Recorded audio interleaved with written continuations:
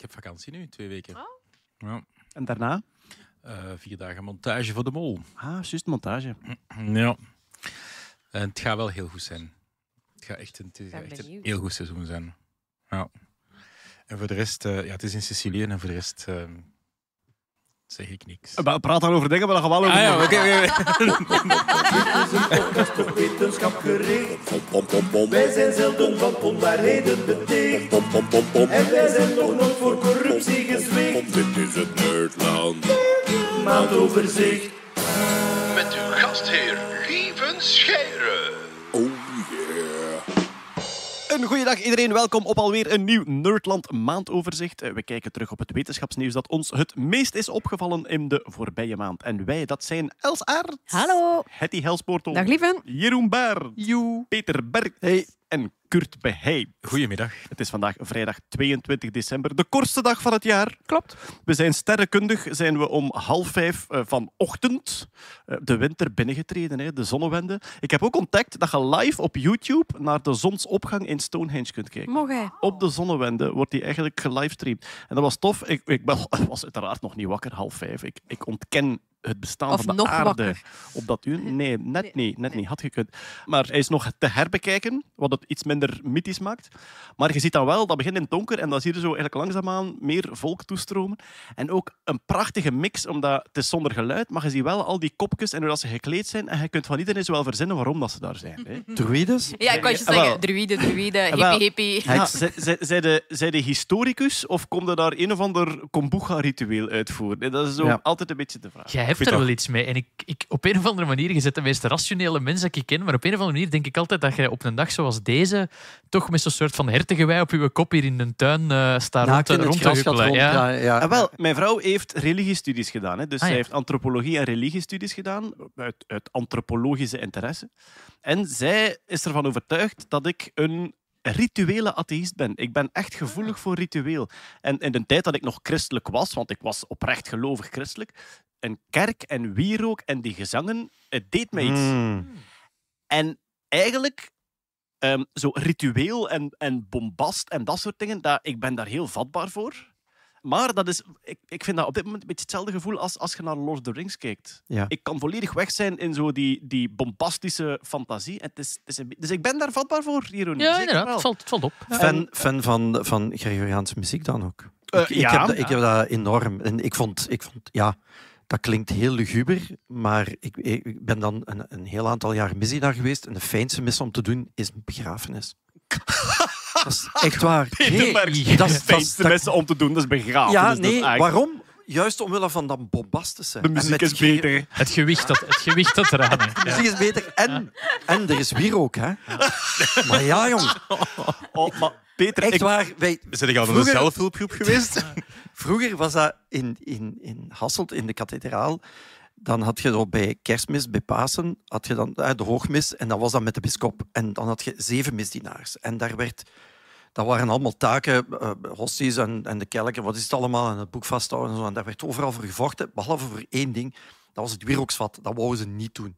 Oké.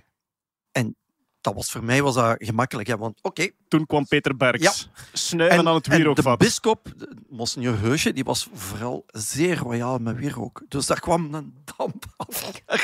en dan zag je zo... Zeven misdienaars op een rij, zes groen en geel en ene compleet de fleur van zijn leven. Oh, oh, oh, man. Ik voel, nu wel, ik voel nu wel een soort Dexter-achtige tv-serie over de misdienaar die heel graag begrafenissen doet. Er zijn niet genoeg begrafenissen. Oh. Dus, Dus- hij zoekt mensen in ja. het dorp die het verdienen om begraven, Begraven te te worden. worden. Ja, ja. Ja, voilà. Nee, maar dat, ja, oké, dat klinkt heel raar. Hè, maar dat, ik, ha- ik heb inderdaad ook iets met dat bombastische. Ik vind, Voilà. eh, ja. Ik, ik word aangetrokken door ritueel en bombast, maar rationeel kan ik niet geloven in eh eh ja, bovennatuurlijk. Maar atheïsme is niet per definitie eh, los van rituelen. hè. Nee, natuurlijk. dat is Ja, waar. Mensen hebben rituelen nodig. Absoluut. Hè. Maar dat, dat, is vind ik het mooie, Ja. dat vind ik het mooie aan, aan die zonnewende. Ja. Dat is een heel duidelijk, ehm, Natuurfenomeen. ah, een heel duidelijk sterrenkundig moment waarop de dagen langer worden. Dat ook, hé, donkere dagen, ik merk dat dat eigenlijk dat, dat ik dat lastiger heb met ouder worden, met de donkere periode. Ik had er vroeger niks tegen en nu begin ik zo in de winter zo wat met mijn voeten te slepen van kom, laat het zonnetje maar een keer schijnen. Echt, dat duurt geen, geen vijf jaar of ik zit in een club met in Spanje heel de winter. Gaat dat zo zien. Hè. Ehm, eh, ja, Overwinter in een babybar. Amai, lieve scheren, himself. maar dus zo, zonnewende, ik vind, dat, ik vind dat schoon. Ik heb trouwens onlangs dat, dat filmpje gerepost van Britse komiek, ben ze de naam kwijt. When Jesus Stole the Winter Solstice. Eh, ja, het, het staat op mijn... Ah, ja, ja. het staat op mijn Twitter. Het is Jezus die binnenkomt bij een hoop druïden die Ja. zo winterzonnewende aan het vieren zijn. All right, everybody out. This is my birthday. Hè? En zo, dat soort. Maar heel, eh, heel, heel tof gedaan. Goed, zeg, wat een hele hoop smalltalk voor we ik, dacht, beginnen. ik, ik dacht, ik geef de aflevering een beetje kleur, maar willen ze die vertrokken? Oh, maar ja, zeg, straks worden we aangeklaagd door de volksjury voor Ja. plagiaat van de volgorde. Van inderdaad, eerst even de smalltalk en dan to the point. Nee, niets daarvan. Dan moeten we nog zeggen, zeg, hoe is het met jullie? Ja, voilà. Eh, goed, eh, we gaan. eh, ja, maar eh, het, het, ons eerste onderwerp is eigenlijk toch direct alweer een beetje persoonlijk eh, leven. Eh, Peter, jij hebt een meid. Ja, Hoe is, het met, hoe is het met uw meid? Eh, goed zeker, veronderstel ik. Ja, met de ik, heb nog, populatie. ik heb nog geen kweekske. Dat, dat nog Ah, voilà. Nee, dus waar we het over hebben is, we hebben het er vorige keer ook al over gehad. eh, Peter heeft een meid met IJT, heeft een meid een soort eh, naar zich genoemd. Ja. De ehm eh Berksie of Peter Berksie? Ty- Berksie. Voilà. En je hebt ook zo, je hebt ook zo een, een, een, een ehm, wetenschappelijke tekening, denk ik. Hè? Wat dat Oh ja, ja, die zijn geweldig. Hè. En waar is die getatoeëerd op je lichaam? Eh, daar ben ik nog over aan het nadenken. Op ware grootte. Hallo? Ja, nee, nee, nee. Heb Nadenken, waarom moeten we daar nog over nadenken? waar Als dat die moet komen. Als er Ah, ze gaat er 25 komen, maar mensen mailen. Ja. Ik heb, ja, Bart heeft nu... Bart van Peer heeft dus. nu gezegd... Oh, jee. Bart van Peer heeft nu voorgesteld dat we dat op Nerdland Festival gaan doen. Oh, Een nek- oh goed Een idee. nektattoo van een Of meid. zo'n trampstamp. Zo. Oh ja, You wish. mooi symmetrisch op zijn rug. Ja, maar die, maar, ja, maar die tekeningen zijn echt wel heel knap. Voilà. En dus, eh, je je gaat een kweekske starten, maar het is er. Ja, ja, van zodra als ik my hands... Ja. Get my hands on Voilà. it. Ik vind een meid op uw voorarm, dat is iets. Dat, vind ik, dat zie ik zo Op wel. mijn voorarm. Ah, Hier zo. ja, zo daar, ja, Ja, ja, ja, ja. Waar, dat, waar dat Xander zijn een, ehm, de zee, zeesaurier staat. En, en mijn TARDIS. Ah, is het echt? Ja. Ah, kijk Ah. Oké, Voilà. ja. Dat is een goeie is, plek. eh, dat is, eh, ja, absoluut. Behoort Alright. zeker tot de En dan kun mogelijkheden. je altijd zelf naar kijken. Dat is daar zo leuk aan. Ja. Hou ons op de En het voordeel is, ik heb dat tegen mijn zoon, die, die heeft nu redelijk wat tattoos laten zetten. Van mijten. Nee, nee, andere dingen. Van meiden. Ja. Voor, eh, mij, ja. En eh, ik zeg, ja, kijk, tegen als jij 60 bent, dan zijn die allemaal zo verpleekt en dan wat uitgezakt. Maar tegen als ik 60 ben, dan ziet die van mij er nog heel fris uit.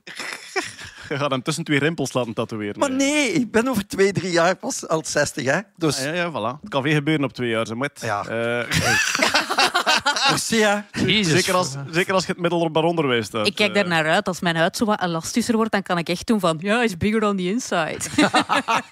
Met TARDIS, ja. Alright, voilà, kijk, maar dus ehm, eh, ik wens u veel succes met de Maar kweek ik ben er van de bijzonder eigen blij meid. Ja, dat eh, kan ik mij voorstellen.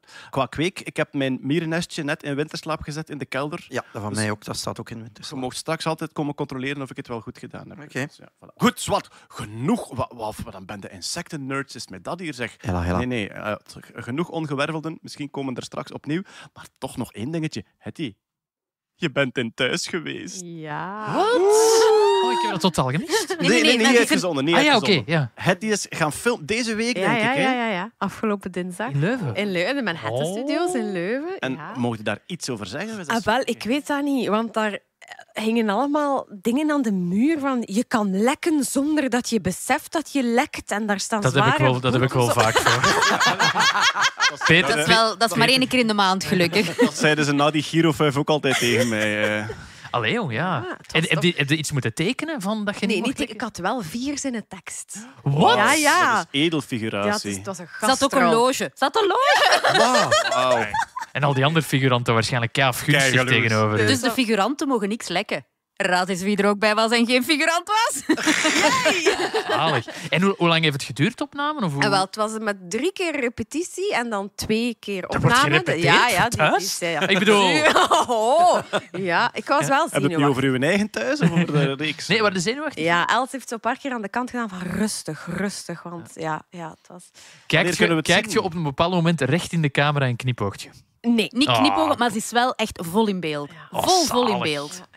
En wanneer, Heb je- en wanneer wordt het uitgezonden? 12 maart. dat weet je al direct. Heb je een Wilhelmscream gekregen?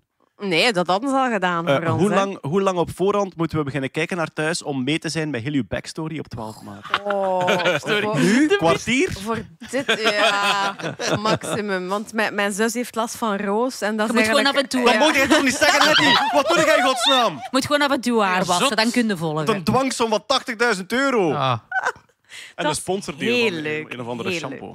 All right, Ja. goed. Nu gaan we toch naar het wetenschapsnieuws hoor. En eh, ja, eh, we, we- wetenschaps- en technologie, nerdy geeky nieuws. We kunnen er niet omheen. Baldur's Gate, my god jongens. Baldur's Gate, we hebben het al vaak vernoemd. Fantastisch spel, hier in Gent gemaakt door Larian Studios. Hij was grote favoriet bij de Game Awards, weet je, de Oscar voor de games. Maar ze hebben het echt wel plat gespeeld. dus de Game Awards worden één keer per jaar georganiseerd in Los Angeles. Inderdaad een beetje de Oscars van de games, maar wel ook echt een reclame-event. Daar worden ook nieuwe games aangekondigd. De helft van die show is reclame. Eh, daar kun je van denken wat je wilt. Het is echt de game-industrie in de kijker zetten.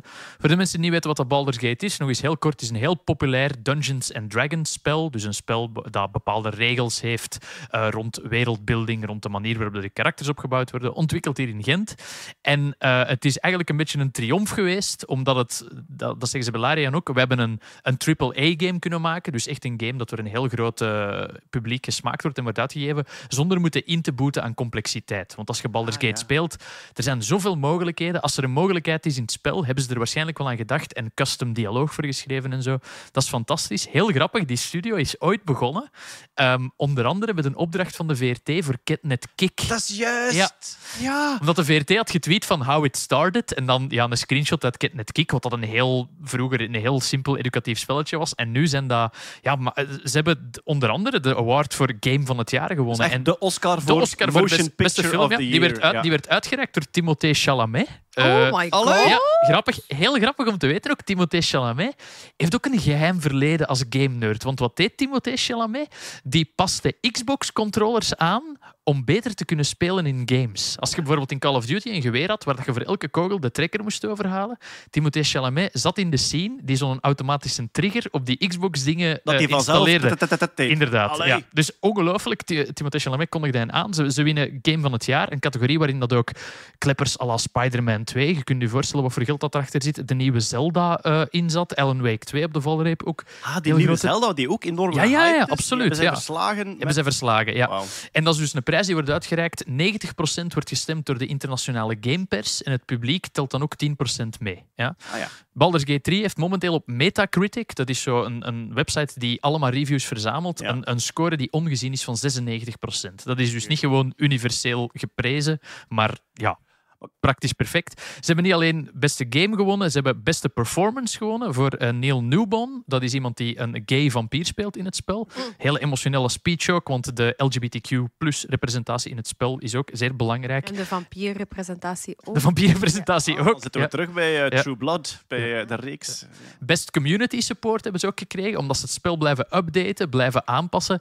Als je een beetje nerdy bent en grappige dingen wilt lezen, de patch notes van het spel zijn meestal geweldig. Zo van, ja, je kunt een beer, je kunt die een boek geven en hij valt u niet meer aan omdat je de verkeerde boek geeft. Dat zijn, de, de patch notes zijn een oplijsting van allemaal dingen die Hier, daar- maar ja. dat is toch echt wel een idee. Een, een klein boekje met al die patch notes. Best, Ja. of, best of Baldur's Gate 3 patch notes. Dat Ja. moet toch een heel tof klein boekje kunnen zijn. Beste multiplayer hebben ze gekregen, dus je kunt het ook met meerdere mensen te samenspelen. Beste roleplaying game en player's voice. Dus de, de dingen die volledig door de eh, spelers gestemd worden. En nog leuk om te weten, eh, Sven, eh, of eh, geschreven SWN Winke, die is de award gaan afhalen volledig in een ridder-outfit. Omdat Ja. dat een beetje een weddenschap was. Dus die had een Echt? hele suit of armor aan, dat hem waarschijnlijk enorm veel schrammen eh, bezorgd heeft, maar is die gaan afhalen. Alleen spijtig, omdat het zo'n awardshow was, moest hij na 30 seconden al van het podium, omdat de muziek begon te spelen. Maar hij heeft zijn volledige, heel mooie speech op, op X gezet. En Voilà. kan ik En wat betekent dat voor hen? Iets financieel? Of Ehm, een- het is vooral erkenning, Ja. denk ik. En ja, er wordt halsrijkend uitgekeken naar wat ze nu gaan doen. Hè. Ja, ja. Ze, ze, ze, ze Zijn zijn, er al plannen? ze zijn in twijfel of dat ze toch uitbreidingen maken om dit spel, omdat ze het toch als een soort van afgeheel zien. Maar ze willen eigenlijk iets compleet iets anders doen weer. Het zal weer die diepte hebben en die ongelooflijke craft die erin kruipt. Maar ik zou ze eens graag, ja, laten we zeggen, langs de volledige andere kant van het spectrum. Candy een- Crush. Nee. Catnet Crush. Nee. Ja, Maar misschien is Candy, het Candy Crush, maar je moet eerst drie kwartier je personage vormen. Zeg, als, als totale noob, heb je iets speciaal nodig van, van eh, gamecomputer of grafische kaart? Ja, maar nee. Tijd, tijd en het, het draait op, op PC en Mac, maar voor computers kan ik toch aanraden. Het moet, Nee, het moet het redelijk zwaar, het recente. heeft een zwaar beestje. Het heeft een zwaar beestje nodig, Ja. maar er zijn ook versies voor Xbox en PlayStation. Een Ja. Xbox of een PlayStation betaal je nu 400, 500 euro voor. Dat is denk ik voor de meeste mensen een goede plek om te beginnen, zonder dat je... En dan heb je een doos waar dat het op draait. En dus tijd. hè. Eh, Xander Tijd, de Rijke, die in de aftiteling van de Ja. game staat, een van de programmeurs is, eh, is fan van hem, ehm, is het beginnen spelen. En hij had maar drie kwartier eh, om de- zijn eerste spelsessie te doen. En in die 45 minuten is er hij niet in geslaagd om zijn personage te, te maken. Dus gewoon, gewoon kiezen wat heeft hij aan, welk haar heeft hij, hoe voelt hij zich Allee. vandaag, wat is, zijn, wat is zijn lievelingskleur, wat is zijn lievelingseten. Dat, Ik heb ja. 45 uur gespeeld en ik ben bijna door deel 1 van 3. Oh. Maar omdat ik ook verhuisfirma Jeroen ben en alles dat los zit in Ah, de wereld, ga ik verkopen bij de dwerg in het kamp. Jij doet alle Ja, sidequests. absoluut. Ik Ja. niet, hè. Ik dender door de main story. En, eh, Ah. ja. Trouwens, wat heb ik uitgespeeld deze maand? Half-Life 1. Ah. Eindelijk. Echt waar? Ik heb, ik, ik heb u gezien. Ik was op Steam ook online en ineens zo... hm, lieve scherren is online. Dat is, Ja, eh, meest- spel meest- van meestal 19 is het uw zoon dat het spelen is Ja, op Steam en dan durf ik niet te, niet te Dat is, sturen. dat is, dat is eh, spel van 1998. Ja. Dat staat als een huis. Hè. Ja, ja. Ik kan me daar... Ook de laatste levels in, in de, de weirdo alien wereld, die worden die- dat is echt zo de, de, slecht pixel- oud geworden. Ja. Ja, dat, dat, is een, dat is een uitstapje. Maar zo op het moment dat je zo Castle Wolfenstein-achtig door dat labo... Ik weet dat je op een bepaald moment in de WhatsApp stuurde van ja, ik heb niet genoeg kogels voor die honden. Er zijn zo honden die daar Ah, ja, heel ja. hard zichzelf opdraaien, elektrisch, en daar komt zo'n elektrische stoot uit. En wij allemaal, ja, maar je moet achter een muurtje gaan staan. Lee. Ah ja, dat is gelijk een idee. Ja. Maar ik kwam uit een manhole, dus ik heb, Ja. een, stuk, ik heb een stuk level moeten herspelen om met meer bullets daar te geraken. Ah ja, je, hebt- je hebt dan toch de geheime basis en de geheime eh, wapenvoorraad. Nee, nee. Ah. Zwat, eh, voor, voordat we hier een gameshow worden, Ja, hè, want ja. ik zie al mensen denken van, nou, waar Ja. blijft hier de keiharde wetenschap? Ah, hier komt de keiharde, fundamentele, levensveranderende wetenschap. We weten eindelijk waarom katten spinnen. Enfin, eigenlijk weten we hoe ze spinnen. Hè? Ja, Dat ja, is ja, het. ja, het is Ja. een beetje consternatie in Kattenland. Ja, en ook discussie, hè, want eh, Ja, ja, ja, er is al ja, commentaar ja, op het onderzoek. ja, ja. Maar zeg eerst eens wat er precies gebeurd is. Ja, het is natuurlijk... Ik wil, ik wil, ik wil ook het, het audiogegeven niet onthouden, want wat is het allerzaligste dat er kan gebeuren in deze donkere dagen? Oh. Dat je, Een tweetakt dan is start. Niet- dat je in de niet- zetel zit en dat dit op je schoot komt zitten. Ja, maar niet als dat langs je kop staat te snorren als je in je bed ligt. Dan. Is dat niet gewoon Hetty die snurkt? Ja, die komt soms ook op mijn schoot liggen in de zetel. Wat ik wonderlijk vind, is als ik dat geluid hoor, dat ik heel de sensatie erbij heb. Ik voel die een vacht ook, Ja, ik ja, zie dat ja. snoetje, ik zie die oogstjes zo half dicht. Ik, Ja. dat, dat, is, dat is embodiment, hè, dat ze in AI zoeken. Dat, dat ehm, één iets compleet gelinkt is met alle Ah. andere aspecten. Ja, dat, dus een van de problemen bij AI is, die, die kan woorden aan elkaar schakelen, maar het woord kat is voor ChatGPT totaal niet gelinkt aan de vorm, het geluid, de sensatie. En het feit dat het bij ons samen zit, dat noemen ze dan embodiment. En dat is een van de volgende stappen in de AI die ze eigenlijk...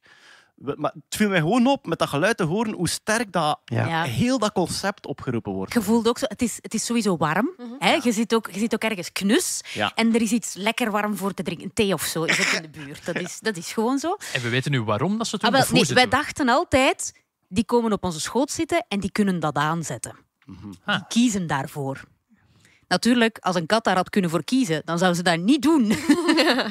nee, nu is de nieuwe, de nieuwe theorie is eigenlijk dat dat geen vrijwillige actie is, Ah, oké. maar dat er eh, in de larynx van een kat zitten blijkbaar zo kussentjes, een beetje flapjes. En bij een bepaalde soort luchtstroom zouden die het, het spinnende geluid maken. Dus het is, het, is geen, het is geen bewust aanzetten van iets. Maar het, is, wanneer- het is iets wat geactiveerd wordt door een bepaald gevoel. Dus vanaf dat een kat zich zo voelt, begint die onvrijwillig te spinnen. En het is niet dat ze zegt, ik ga nu een keer spinnen. Maar als dat een luchtstroom is, dus dan wil dat zeggen, als die kat zich op een... Hoe zal ik zeggen, als die kat een bepaald gevoel heeft, dan begint die anders te ademen dan. Oh, wel. Dat is eigenlijk, want wij dachten tot nu toe dat het was, was een glimlach Ja, ja, die je ja. zelf initieert, maar Ja. het is meer gelijk snurken. Aan de luchtstroom Ah. in die keel. Ik dacht, als, Ja, ja, je, ja, als, ja. ik dacht, als je met een Dus een ventilator ina- op die keel zit, Ah, wel. Grappig dat je dat zegt. Ze Koop hebben, nooit dus, een kat. Nee, nee. ze hebben dus acht katten ehm, ontmanteld, laat ons dat zeggen. Oei, Wow, donker. oei. Ze hebben die laringsen gepakt en ze hebben daar dus een luchtstroom, allez, verschillende soorten luchtstroom doorheen gestuurd. En zo zijn ze er eigenlijk achter gekomen Ah. dat je een kat kunt laten spinnen zonder dat de volledige kat hoeft aanwezig te Zonder zijn. dat er een signaal uit de hersenen komt. Maar dus voor mensen die denken van, amai zeg, wetenschappelijk onderzoek naar spinnende katten, dat is toch echt een droomjob. Het is inderdaad gebeurd op verwijderde stembanden van geëuthanaseerde katten. En Ze mensen waren, die... wel, ze waren wel zeer ziek. Ja, die, Ja, die geëuthanaseerd werden om medische redenen. Dus Ah, niet- oké. ja, Niet expres voor nee, het nee, nee, nee, nee. Er Maar- zijn vast maar dat mensen die dat nog steeds een droomjob vinden. yes, Dat tell me verklaart more. natuurlijk ook wel waarom... Peter bijvoorbeeld, die denkt nu, is de gebier ook bij? Laat die mens uitspreken. Ja, goede kattenbegrafenis. ja. Het verklaart wel waarom dat katten ook spinnen als ze aan het sterven zijn. Hè.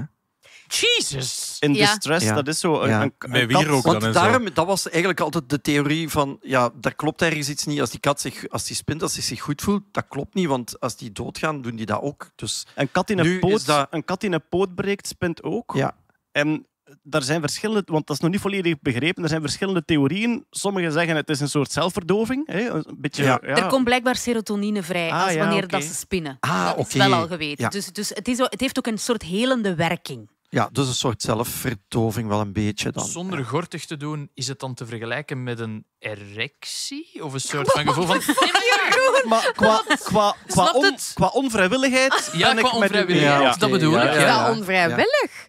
Ja, soms... Soms Tuurlijk, de, omstand, de omst- Omstandigheden, het is, ja. het is niet... Het, het is, kijk, uw vinger kunt je zo plooien. Zo werkt dat niet. Nee. Nee. Het is niet dat wij, denk, het is niet dat wij denken en hop en neer en op en Maar dat, dat ge- gebeurt, Maar- gebeurt dat wel door een, toch, door een prikkel uit je hersenen. Door gedachten. Ja, maar door een gevoel, hè. Ah, nee, nee, nee, nee, nee. Dus dat hebben ze nu, doordat ze, doordat ze dat uit de kat hebben uitgehaald, is gebleken dat daar geen hersenprikkel Ja, voor oké. nodig is. Maar als je de pimeldoris van de man afkoppelt en je zet daar dan bloeddruk op, dan gaat dat ook. op. Mm. Ja, ja. Dus dat is een beetje En dat was inderdaad ook een beetje hetgeen waarover dat dan eh, consternatie ook is, een beetje, dat, ze, dat er ook anderen zeiden van, maar je kunt dat eigenlijk niet helemaal onderzoeken door de rest van de kat er ronduit te halen. Ja, ja, oké. Want het is ja- gelijk dat je van een blaasinstrument alleen het mondstuk afpakt, Ja. daardoor blaast en dan zie je welk geluid dat dan Ja. maakt. Ik vind het een soort heerlijk zen-boeddhistisch. Je kan de kat niet begrijpen zonder de kat. Klopt wel, hè? En waarom zijn sommige katten dan luidere spinners dan andere? Puur de, de vorm van die larynx... eh, Waarschijnlijk, waarschijnlijk. Het is ook zo, allee, als een kat begint te spinnen, dat begint meestal zachtjes en dan Mhm. zakken die daar zo in. Hè. Ja. Dus ik denk dat dan zo die serotonine komt vrij en dan hebben die zoiets van... Oh ja. Maar dus eigenlijk spinnen die niet omdat ze gelukkig zijn, maar worden ze gelukkig doordat ze spinnen. Ja, nee. Nee? Het begint denk ik wel vanuit een soort gelukzaligheid of stress dus. Ja, Maar dan dat, dat, dat, dat gaat zijn eigen wel dat vermenigvuldigen. die zichzelf misschien een soort trance steken. Zo, ik dat vind de vergelijking met een erectie niet zo fout. Ik vind dat trouwens een van de features die daar zo een ideaal huisdier van maken. Dat je die een feedback hebt van affectie. Ja. Dat, dat is echt Ja. duidelijk geven van, oké, dit is oh, ja, een, beetje, beetje lager, ja, een beetje naar links. Oh ja, ja, deze. Zo een, een, huisdier, ja, een huisdier met een feedbacksysteem. Ik vind dat goed gevonden. Trouwens, alle katachtigen, of bijna alle katachtigen, spinnen. Ja. Maar de huiskat is een van de weinigen die het bij in- en uitademen doet. Ma. Ja, zo leeuwen en tijgers en zo, die spinnen alleen bij het uitademen. Ma. denk ik. Dus onze katten hebben geleren spelen op hun didgeridoo En eigenlijk. dat is Ja. waar, ja. Ja. ja. die gaan eh, heen en weer. Ja. Alright, eh, we gaan er toch maar eens invliegen met een blokje AI, want er is weer enorm veel gebeurd. En als ik me niet vergis, hebben we daar een jingle voor. AI, AI, AI, AI, AI, AI, AI, AI. Is het een zegen of onze grootste wens? Of is het de ondergang van de mens? Het is de toekomst. Artificial intelligence. Oké, ik denk het AI-nieuws dat het eh, meest gemediatiseerd is, was eh, Google, die Gemini gedemonstreerd heeft. En Gemini zou een beetje hun concurrent voor ChatGPT moeten worden.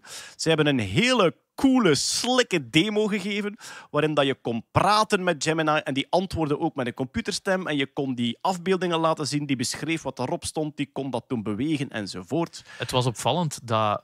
Want dat was een beetje de verrassing. Ze kwamen niet echt met een product naar buiten van Gemini, maar het is eigenlijk een soort van technologie die ze achter hun Google-producten gaan steken. Een technologie die dat in kleinere versie ook op de Google-telefoons gaat draaien. Het was eigenlijk een soort van drie keer middleware dat ze hebben voorgesteld. Ah, ja. Het is niet, we, we hebben hier een website open, gemini.google.com, en begin maar allemaal te spelen. Het was, het was meer een systeemaanpak. Maar inderdaad, dat filmpje waarover je het hebt, er is veel rond te doen geweest. Ook. Ja, dat zag er heel cool en slick uit. En achteraf bleek dat het te cool en slick was. Hè. Het was gemonteerd. Eh, het was, eh, ja, dus ik heb achteraf dan eh, de artikels gelezen. Dus in het filmpje zie je iemand die een doedeltje tekent. Die zo een half vormetje tekent. En die vraagt aan Gemini, what is this? En die antwoordt dan van, it's a chair.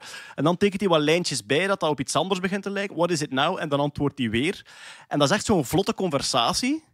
En wat blijkt, wat dat er eigenlijk gebeurd is, is die heeft een tekening gemaakt, die heeft een foto getrokken, heeft die foto geüpload, de computer heeft geantwoord in tekst, hij heeft een ding bijgetekend, heeft een nieuwe foto gepakt, heeft die geüpload, de computer heeft geantwoord in tekst en zij hebben daar een scenario van gemaakt en dat eigenlijk nagespeeld.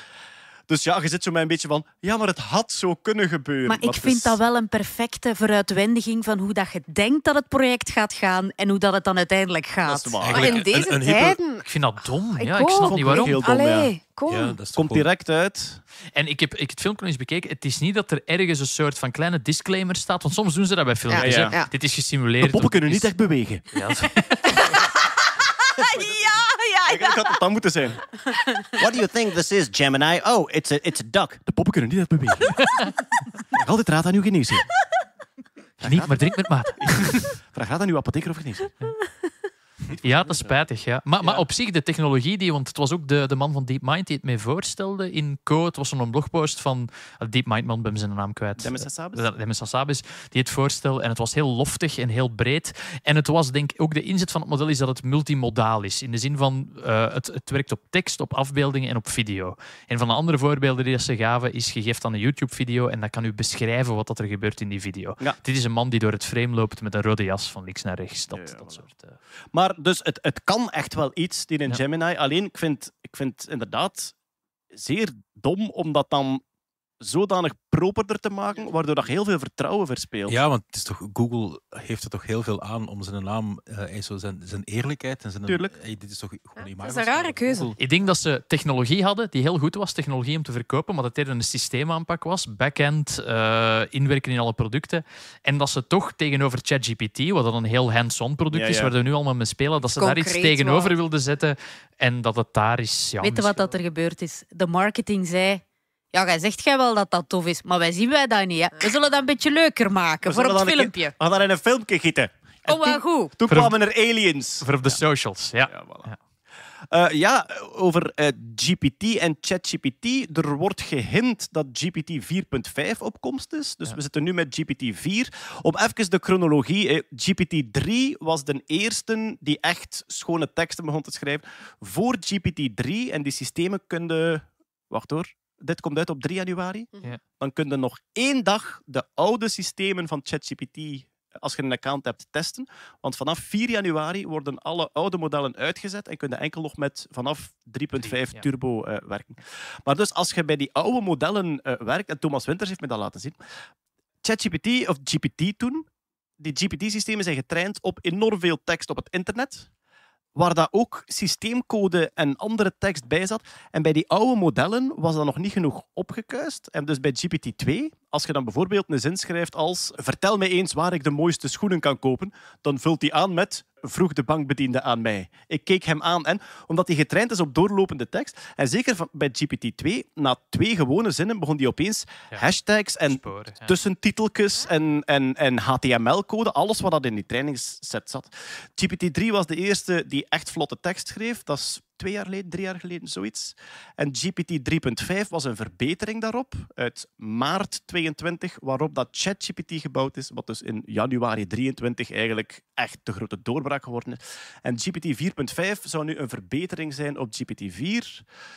Er wordt gehint dat die de komende maanden zou uitkomen. En anderen zeggen ze gaan hem overslaan en ze gaan wachten op GPT-5, die blijkbaar ook al in ontwikkeling is. Het probleem is dat ze een beetje op, op, het, eh, op het punt zitten waar vroeger was GPT beter maken, was dat we gaan het op meer data trainen. Ja. En nu heeft Sam Altman onlangs verklaard van ja, de toekomst zit niet in grotere modellen qua data. De, de toekomst zit hem in de manier waarop we die trainen, want Ja. de data is zo'n beetje op. Ah ja. Eh, Oh ja. de ja. tekst is op. de tekst is op, ja. Schrijven iedereen. maar iedere dag tekst. wordt toch keiveel tekst bijgemaakt. Ja, maar hij moet deftig gelabeld zijn, hij moet kwalitatief Dus zijn. dat- Dat, Ja, ja, ja.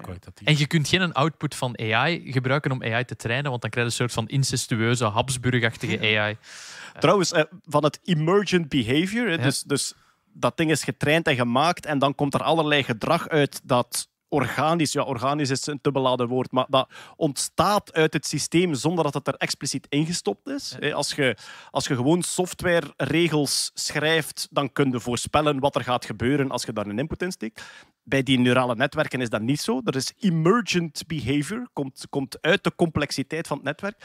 En nu was er toch een hele leuke die circuleerde, dat eh, ChatGPT ehm eh, ietske vermoeider zou zijn als hij denkt dat het december is. Ja. Dus dat hij ietske, Oh. Ik heb dat, ik dat heb hij dat, ietske ja. trager en luier antwoordt. Ik heb dat bekeken. Er zijn gebruikers dat dat beweerden. Die vonden dat ChatGPT eh luier geworden was. In de zin van dat hij soms zei van je kunt dat, dat en dat doen en de rest kun je zelf opzoeken. Ja.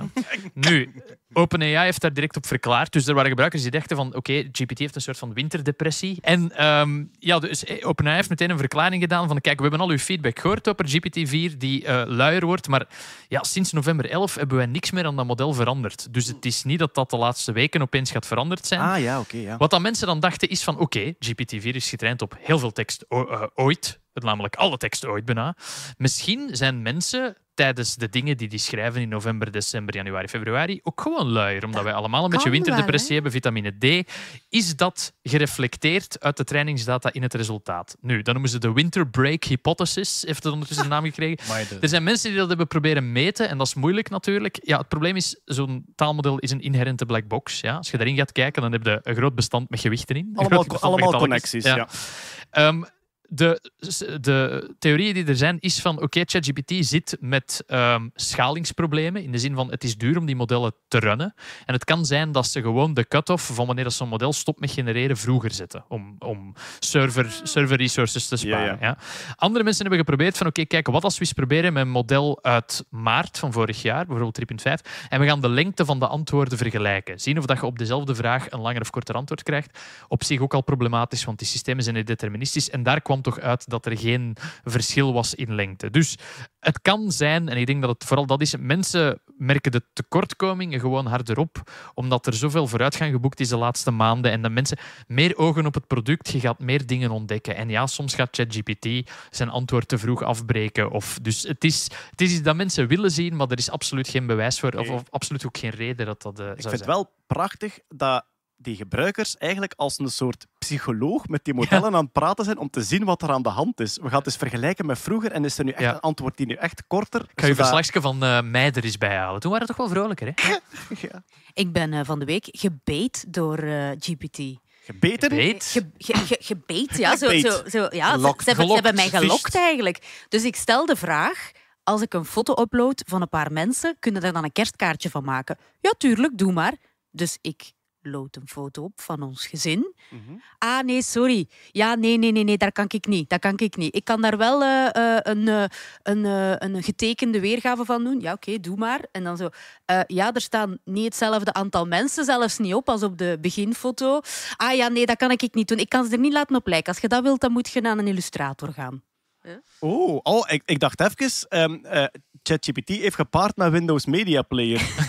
Weet je dat nog? Als je een bestand opende, als je vroeger een mediabestand opende op een computer en je had een paar mogelijke mediaspelers, was het altijd Windows Media Player die van oh, oh, oh, ik kan dat. Oh, zeg het. Oh, oh, mag ik, mag ik, oh, mag ik dat, mag ik dat open doen? En dan klikte dat open en dan, ja, wacht, ah, oeh, oeh, oeh, maar dat is mijn codec. Oeh, oeh, maar dat heb ik niet. Oeh, oeh, maar die codec, oeh, maar die codec, dat kan ik niet. En ondertussen zo ergens van achter in de schaduw staat een VLC-player. Ja, een, siga- kegeltje. een sigaret Ja, te roken. ja, ja. Is, is hem klaar? Ja. Is hem klaar? Voor de mensen die VLC Media Player niet kennen, het is weer de hoogtijd van het jaar, want sinds 16 december heeft VLC Media Player zijn Een kersthoedje op. Kersthoedje. Ah. Ah ja. Heb jij dat nog? Elk jaar. Ah, natuurlijk dat. Tuurlijk. Wij, wij hebben dus geen kersthoedje op onze kerstkaarten, hè, voor alle duidelijkheid. Ja, We hebben geen kerstkaarten Wat, ik, wat ik denk dat jij ze tegenkomt, Els, is dat ze dat heel hard proberen af te schermen, want het was wel de betaalde versie dat je Ja, ja, ja, ja. Dat ze heel hard proberen af te schermen dat je daar mensen mee te kakken zet. Dus het uploaden van bestaande mensen en dat aanpassen of van haha, dit ik is mijn vraag vader. het eerst. Ik Ja, maar vraag, ja. als ik u een foto geef, kun je daar dan mee doen? Ja, ja, ja, geef mij maar foto's. Ja, zie. Stuur maar foto's door. Hij had gewoon een had gewoon- Ah, ja, voilà. Het is Ah, gewoon wel ja, voilà. Er is dus geen bewijs. echt- ik had echt bewijs zoiets van, want ik zet dus eigenlijk van mijn kinderen allee, geen foto's online. Dat is echt Ja, zo. ja. En nu Ja. dacht ik van, allee, ja, kom, ik ga dan een foto uploaden. En direct had ik er weer spijt van. Joink. In Ja. De volgende Dali zit dat mee in trainingsmodel. Ja, ja, voilà. Dat, is dat? Is dat? Maar dus geen bewijs van de, Ja, geen ja, je hebt bewijs van de winter. geüpload, ja. Alright. ehm, ja, eh, DeepMind in Londen. Daar ben ik eh, een paar weken geleden op bezoek geweest. Wat? Daar werken een paar Belgen. Hè. En eh, ik ben langs geweest bij een van die Belgen. Nu moet ik wel zeggen, langsgaan bij Google DeepMind, dat gaat eigenlijk als volgt. Je zoekt een contactpersoon die daar werkt. Als die dat echt wil, dan laat hij u binnen. En dan heb je zo ehm, ongeveer een vijfde van, het volledig, van één verdiep van een gebouw van zeven verdiepen waar dat je binnen moogt. En dan praat je met iemand die enorm enthousiast is over wat hij allemaal mee ontwikkeld is. En die twee van de drie vragen beantwoordt met: Oh, dat mag ik eigenlijk niet Bij. Apple was dat ook. Yep, yep, binder. Ja. Dus, eh, Mocht, mochten in de cafetaria binnen, mochten er gaan eten? eh, je- wel, ja, ja, ja. ja, ja. Ah, maar ja, dat is voilà, Apple. voilà, je mocht er even zitten en dan eh, wel, zo in, in een vergaderruimte. Goeie zalm wel. Maar ehm, ja, ik heb, ik heb vooral gevraagd over die een Lyra of Lyria. Eh, dus eigenlijk een AI-systeem waar dat, die, u uit een prompt, die uit een prompt een liedje schrijft. Ja. En, maar als de demo, hè, dus als, als de trailerfilm, het staat nu een trailerfilmpje online, als dat effectief, als het geen een Google Gemini is, maar als dat effectief zo werkt, dan zouden dus kunnen schrijven, eh, schrijf eens een kinderlied, maar in de stijl van The Doors, over eh, een wombat die verliefd is op een kolibrie. En dan schrijft hij de tekst en de muziek en genereert hij de zang en krijgt er dus dat volledig nummer. Alleen maar vanuit die prompt. Ik neem aan dat er veel tussenstappen in zitten, dat hij vraagt aan een taalsysteem om tekst te maken en, en, en dat soort dingen. Maar het ziet er... Kijk, bij die afbeeldingen had ik al een pinch myself moment. Hè. Zo bij, bij die DALI, dat je een omschrijving typt en dat dat eruit komt, dacht ik al van wauw, die generative AI, dit had ik echt niet mogelijk geacht. Maar een liedje waar dat zoveel samenkomt. Tekst, stemtimbre, akkoordenschema's, individuele instrumenten, ritme. Ik vond dat eigenlijk, ik vind dat waanzin. Maar we hebben het AI Songfestival gehad. Ja. Dat trok toch echt op niks. Nee, nee, en dat is drie jaar geleden. Ola, ola, ola. Ja, de, de Australische winnaar vond ik nog Ja, wel... eh, Daar was Maar- er twijfel Ja, bij. ja, Er zat veel menselijke interventie Maar- in. Ja. heel dat songfestival, dat AI Songfestival van vier jaar geleden, dat ging over mensen die componeerden met behulp van AI. En dat zijn we, dat zijn we nu dus ingehaald. Nu, er staat al een tool online, Suno AI. En die doet het al immens goed. Hè? Want Thomas Winters heeft daar op zijn Twitter een paar, een paar liedjes van. Dus dat gezegd van schrijven ze een, een, een K3-nummer over het slechte weer in België. En die doet dat gewoon. Maar die in Lyria is echt nog beter.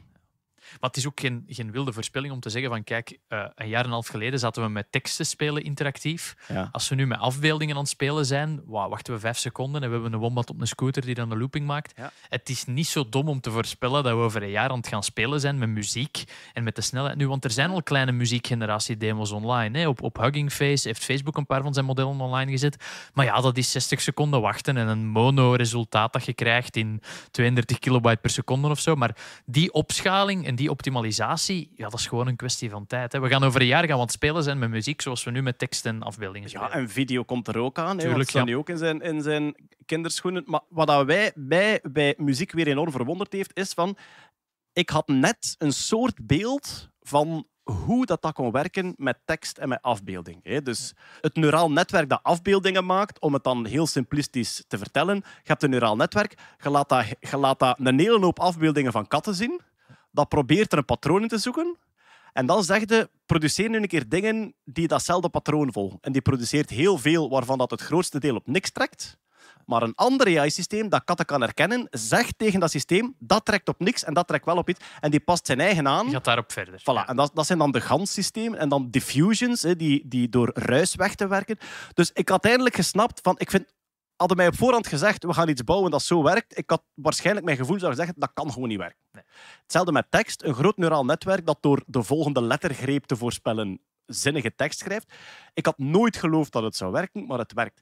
Maar dit is nog een stap complexer, is- waar dat ik mijn kop En niet rond het is hetzelfde trucje. We schalen dat op door er heel veel rekenkracht tegenaan te gooien. Dat is Ja. niet alleen dat, maar de juiste shortcuts vinden om ook al smijten er bijna oneindige rekenkracht tegenaan om snel genoeg resultaat te krijgen en snel genoeg in te allee, in de, de zoekruimte, zal ik maar zeggen, alhoewel het niet het juiste woord is, snel genoeg in te zoomen, te convergeren op iets dat werkbaar is. Maar als je zegt, schrijf een nummer over dit onderwerp in de stijl van de Doors en die een tekst wordt geschreven over dat onderwerp en dat ding zingt met de stem van Jim Morrison, enkel op basis van die prompt, dan heb ik weer een momentje dat ik mijn eigen moet nijpen. Dat is, Ah ja, ja. tuurlijk. Ja. En goed, het zal inderdaad geen, geen maanden meer duren, denk ik, eer dat dat opengesteld wordt en dat we daar ook een keer mee mogen spelen. Maar hetgeen dat ik gezien heb, vond ik waanzin eigenlijk. Dus ja, we gaan zien wat er nog van komt. Los van het plezier met de liedjes, heeft DeepMind ook weer een eh, wetenschappelijke doorbraak, zouden kunnen zeggen, gehad het voorbije, de voorbije maand. Zij hebben via AI-systemen nieuwe materialen ontwikkeld. Dus de materiaalkunde. Altijd op zoek naar supergeleiders, Ja. betere batterijtechnologie. Heel licht materiaal dat tegelijkertijd ook heel sterk is. Voilà, het, het, het, het, eh, het nieuwe staal, het Ja. betere staal. De Dus- nieuwe Kevlar. We willen kogelvrij vesten, maar ze mogen niet meer zo zwaar wegen. Wat is de perfecte... Ja. Dus materiaal, materiaalkunde is een, ehm, een economisch essentiële en enorm nuttige wetenschap. ehm, die, ja, die ook geweldig veel belang heeft voor onze productiviteit, onze welvaart, onze technologie enzovoort. Ehm, materiaalkunde is uiteraard heel lang experimenteren geweest en samengieten. Heel veel gaat over kristalvorming. Staal bijvoorbeeld is ook een soort kristallisatie van eh, ijzer en een paar andere, een paar andere atomen. Eh, En nanomaterialen waarin dat ze op een Ja. hele kleine schaal proberen structuren te vormen met carbon en... eh, lithium, lithium-ion batterijen, Ja. halfgeleiders, supergeleiders ook weer. Allemaal echt kristallisatie en dan kwantumeffecten daarin en, en eh, elektronenbanden en hoe heet het ook allemaal. Heel lang is er experimenteel gezocht naar materialen. En dan spreek ik eigenlijk over de voorbije 150 jaar, zeker, of 200 jaar, zoiets. Hoeveel zijn er experimenteel gevonden? 20.000. 20.000 nuttige materialen die gewoon door samengieten en zo gevonden zijn. Toen kwamen de computertechnieken en dan konden een beetje op voorhand rekenen. Dan kon je eigenlijk zeggen, als die atomen zo dicht bij elkaar staan, hoe verhouden de krachten zich dan en gaan die uit elkaar spatten of gaan die samen En blijven? ook wat gaat het effect zijn op macroniveau? Want je kunt op microniveau wel zeggen zo van ja, oké, we kunnen een paar, eh laten we zeggen, ja, wat is dat, picometer van dat materiaal maken. Wat gaat dat zijn als we zo'n blok maken? En, Inderdaad. En ook wat zijn de elektrische eigenschappen, kun je allemaal heel goed met de computer berekenen en dan moet het uiteindelijk getest worden. Dus experimenteel 20.000 materialen gemaakt, dankzij de computertechnieken daarna 48.000 materialen gemaakt. DeepMind heeft nu een neuraal netwerk gebouwd, GNOME. In de voorbije twee maanden 421.000 materialen ontdekt. Ja. Dat is alweer... Maar ja, dat, dat, dat is bij mij de vraag: een materiaal ontdekken. Wat is de eigenschap van een ontdekt materiaal? Dat het chemisch stabiel is? Ah, wel, Of- Dus DeepMind heeft, denk twee jaar geleden, hebben zij hun protein folding problem. Hè? Ja, dus een, AlphaFold. voilà, een, een neuraal netwerk dat kon zelf voorspellen op welke manier een eiwit ging samenplooien en dan stabiel zijn. Alweer, dat is een black box. Hè? Dat is een neuraal netwerk dat getraind op heel veel voorbeelden van bekende eiwitten, blijkbaar het magische netwerk gevonden heeft dat dat op de juiste manier voorspelt, zonder dat wij nog weten hoe dat werkt. Het heeft zichzelf getraind om dat te kunnen. En dat hebben ze ook gedaan met al die kristalstructuren. Dus ze hebben al die bekende kristalstructuren in een eh grafen-neuraal netwerk. Bekende stabiele kristal. Ja, ja, tuurlijk. Ja, ja, De- die, die, die, die, die bekend die dat gelukt waren waren. Ja. uit die experimenten. En uit die, dus die hebben ze daarin gestopt. Dan hebben ze dat neuraal netwerk zichzelf laten aanpassen tot het die bestaande op de juiste manier beoordeelde. En zo gaat dat dan bij die neurale netwerken. Dan hoop je dat die ook dingen dat hij nog nooit gezien heeft op de juiste manier beoordeelt. Ze hebben dat in gang gestoken. Dat ding heeft, net zoals, het, net zoals AlphaFold eiwitten kan berekenen, heeft dat ding 2,2 miljoen materialen berekend. En dan gekeken welke zijn er stabiel, welke vallen er uit elkaar enzovoort. En daar heeft het er 421.000 van overgehouden. Die zitten nu in een databank. En eh, zoals het dan gaat bij DeepMind, hebben ze die geschonken aan de wereld. En ze zeggen, je mag ze maken als je wilt. En dat is een heel recente aankondiging. En ik weet dus niet ehm, in welke mate dat zij ook al kunnen voorspellen welke dat er nuttig zijn voor batterijen, nuttig zijn voor eh, halfgeleiders, nuttig zijn voor supergeleiders, nuttig zijn voor kernfusiereactoren. Want ik heb eh, een paar jaar terug met een, met een fusiefysicus gebabbeld. En hij zei... Dat is een goed woord om een paar keer naar elkaar te zeggen. Ja, fysicus. Ehm, en, eh, en hij zei, het ziet er naar uit dat de grootste eh, korte termijn uitdagingen voor een fusiereactor materiaalkundig zijn. Ja. Omdat materialen die die hitte en die koude en die supergeleiding aankunnen, als we die niet vinden, dan gaat het sowieso niet. En dus wie weet, ik, ik las dat ding en ik zit nu echt met het idee, hoe, hoe ga ik hier volgend jaar naar kijken? Ga ik volgend jaar terugkijken en denken van, amai, er was veel hoop, maar blijkbaar is er toch niks concreet uitgekomen? Of ga ik volgend jaar terugkijken naar hier en denken van, zie, toen is het gebeurd en nu zijn, de materialen, nu zijn ze materialen aan het maken die echt de volgende stap zetten in Ik concrete... vraag me af hoeveel laaghangend fruit dat daar nog tussen zit van materialen. Dat dat zo out there dingen gecombineerd heeft van oké, het is een stom voorbeeld en niet maar allee jong, bananen en petrol. Goed, we proberen het niet. Allee, bij wijze van spreken, dat Ja, er zo twee maar- unlikely candidates zijn die dat tezamen toch iets maken dan een structuur heeft dat... Ze hebben, ze hebben berekend, dus als je... Dit noemen ze in, in silico experimenten. Dus je hebt, je hebt in vivo experimenten. Goed, dat is bij materiaalkunde nu niet aan de orde, maar bij in vivo experimenten experimenteert je op een, op een lichaam, een medicijn. In vitro, vitro. is dan in glas. En in silico is als je het simuleert. En dus zij hebben hun in silico experiment dat ze nu gedaan hebben, dus dat, dat gra- eh, Graph Neural Network eh, laten draaien en 2,2 miljoen materialen laten voorspellen, hebben zij ehm, gemapt op de normale snelheid van de materiaalkunde. En ze zeggen, we hebben 800 jaar werk gedaan. Dus ze hebben eigenlijk 800 jaar materiaalkunde heeft in silico gedraaid de voorbije maanden. Als je het vergelijkt met die, met die eiwitten, met die proteinfolding, waar dat je vroeger jaren werk had om van één eiwit de vorm te voorspellen, ja, heb ik nu gepraat met Xander Steenbrugge bijvoorbeeld, die hier in Gent eh, aan, aan protein prediction doet. En die krijgt dan een opdracht van, van geneesmiddelenfabrikanten en die zeggen, zoek eens een eiwit dat dit kan. En dan genereert hij er 10.000 op een nacht. Ja. Waar dat je vroeger vier jaar onderzoek had aan eentje. Dus als dat hier hetzelfde is, als dat even goed Hm. materialen kan voorspellen, dan is het wel een enorme game changer. Het ding is, het verschil is, het aantal eiwitten, het aantal bekende eiwitten is eindig. En, en het is dat dat jij bedoelt. Ja. Hè? We kunnen er zo'n miljoen voorspellen, maar gaan er daar drie bruikbaar van zijn? Geen idee. Toch?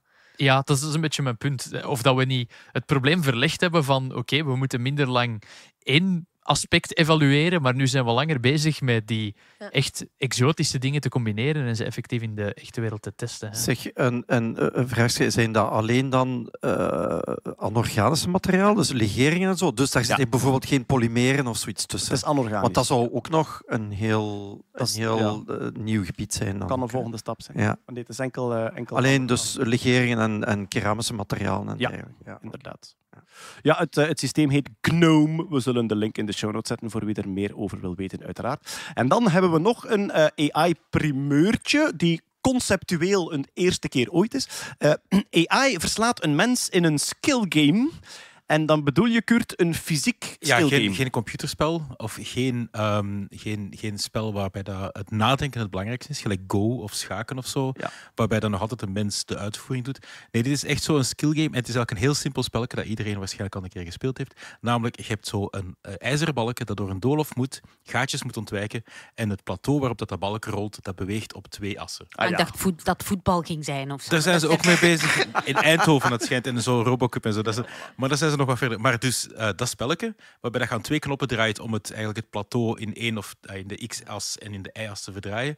Ehm, daar worden zelfs, hoe- banaal het spel ook is, er zijn wereldkampioenschappen van. En het wereldrecord, gok eens even, zodat het menselijke wereldrecord... Maar hoe groot is het doolhof? Ehm, pakt, ja, wat is dat, 40 Der- centimeter 30 op 30 Ja, of 40 op 40 of zoiets, ja. Ik zou Nou, denken- Een mens minder dan 10 seconden, Ja, denk ik. drie Ja. seconden. Nee, Maar nee, nee, nee. Seconden, nee, nee. Dat is echt een doolhof dat de balken minuten. door moet doen. Dat gaat over minuten. Oké, dit is 15,41 seconden. Het was door een, eh, 15 seconden. 15 seconden echt juist draaien. Dat is echt al heel skilled en heel hard getraind. Damn. Ehm, we gaan nog niet spoilen wat de computer gedaan heeft. Maar, ehm, dus wat ze gedaan hebben, is die twee... Eigenlijk, ja, het voordeel van dit soort spel is dat er eigenlijk maar twee inputs zijn. Twee controllers. Er zijn twee Ah ja. Twee assen die je moet laten draaien. dus ja. daar twee motorjes op gezet. En dan eigenlijk een webcam boven het spelbord gehangen. Echt de ogen van het systeem. En dan dat allemaal uiteraard gevoed naar een systeem om dat te verwerken. En te zien wat dat een input was. En het bijgetraind en het eh, reinforced learning toegepast en zo van toestanden. Ehm, en op die manier zijn ze er wel in geslaagd om dat systeem. En eigenlijk het filmpje, we zullen het in de show notes ook zetten, maar die filmpje is ook wel heel sierlijk, hoe dat, dat balken eigenlijk de perfectie volgt en dat op de juiste momenten gedraaid wordt, dat dat nooit stilvalt en dat dat mooi zijn doel bereikt. Ehm, het was zelfs- met menselijke voorbeelden of enkel op reinforcement learning? het is met reinforcement learning ehm, getraind. Het was zelfs zo dat de computer slim genoeg was om shortcuts te zoeken. Ah, is het echt? Om Ja. zo'n muurtjes over te Ja, om zo, Ah. muurtjes, om zo echt zo gaten, zo net te ontwijken. Ja, er is eigenlijk een pad dat je moet volgen, dat zo met een lijntje ook. En dus die computer die dacht, hey, fuck you, langs die gaat sneller, hoppa. En dan hebben ze ook reinforced gewijs moeten zeggen, nee, dat mag niet. Je Ah, ja. moet het lijntje volgen. Dus Maar ik vind, dat, ik vind het wel een heel mooi voorbeeld om ehm, duidelijk te maken wat het verschil is tussen ehm, gecodeerde software en Ja. een neuraal netwerk. Hè. Dus je zou dit soort fysica zouden kunnen echt programmeren. Analyt- analytisch Zeg maar, wat is de uitrekenen. tijd van je de Ah ja, computer? ja, Je dus kent- de, de computer, Cyberrunner heet het project. En het staat ook op cyberrunner.ai. Je kunt je alles, want ze hebben ook alles open source gezet. Je kunt alles gekijken. De tijd. De tijd, het- dus de mens was 15,41 en de computer heeft er 14,48 seconden over gedaan. Oh. Ik denk dat dat gewoon ook ik denk dat je het fysiek ook niet sneller kunt.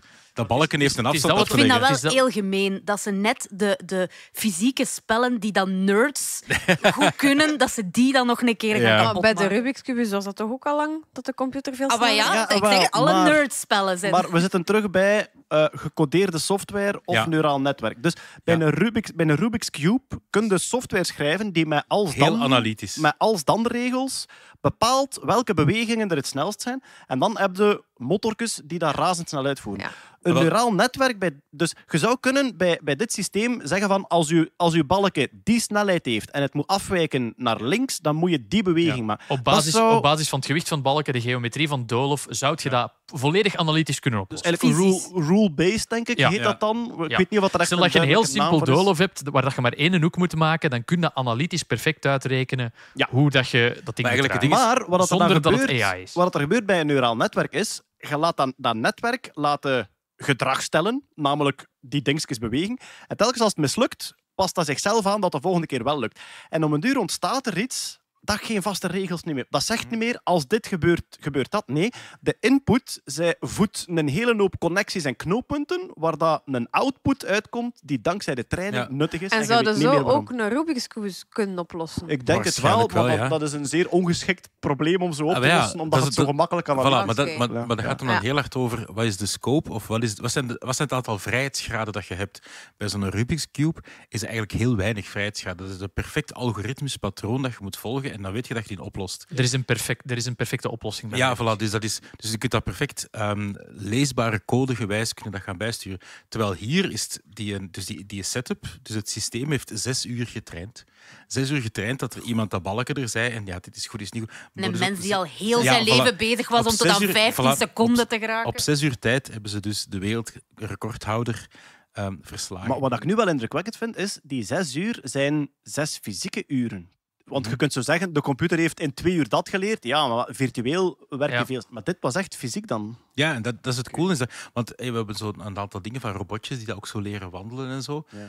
Ehm, dat, is zo wel, dat vind ik zo de meer interessanter, of de, de, de, interessantste pistes om naar te kijken. Want zo taalmodellen nog verbeteren en, en, en, en alles wat elektronisch is, of elektronische bronnen als output heeft, dat is, is ook absoluut heel interessant. Maar zo de fysieke wereld ernaast is, Ja, dat is, dat is embodiment, hè, het moment Ja, dat je contact maakt. Want wat dat is zo hetgeen wat dat zeggen van ja, is mijn, als zo mensen vragen van is mijn job bereik, eh, bedreigd door AI? Ja, in die end allemaal. Of je gaat de job moeten aanpassen of je gaat een andere skillset erbij moeten hebben als toestanden.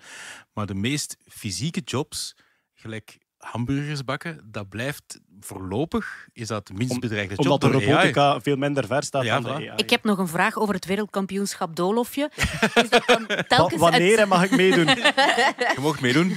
is dat dan telkens hetzelfde doolhof? Ja. Of, of is dat zo, je wordt geblinddoekt en je weet niet wat dat er gaat komen en oeh, nu, nu krijg je nee, pas nee, te is- zien het wat dat moet hetzelfde. doen. maar het mooie aan die AI is dat hij ook een nieuw doolhof zou kunnen. Daar Maar is hij nu niet op dus- getraind. hè. Daar is Ja. hij nu niet op getraind, Dus maar je, zou die kunnen, je zou die kunnen trainen om ook een nieuw doolhof Ja, te kunnen. Ja, Ja. maar Ja. dus de mensen die oefenen de hele tijd op één doolhof.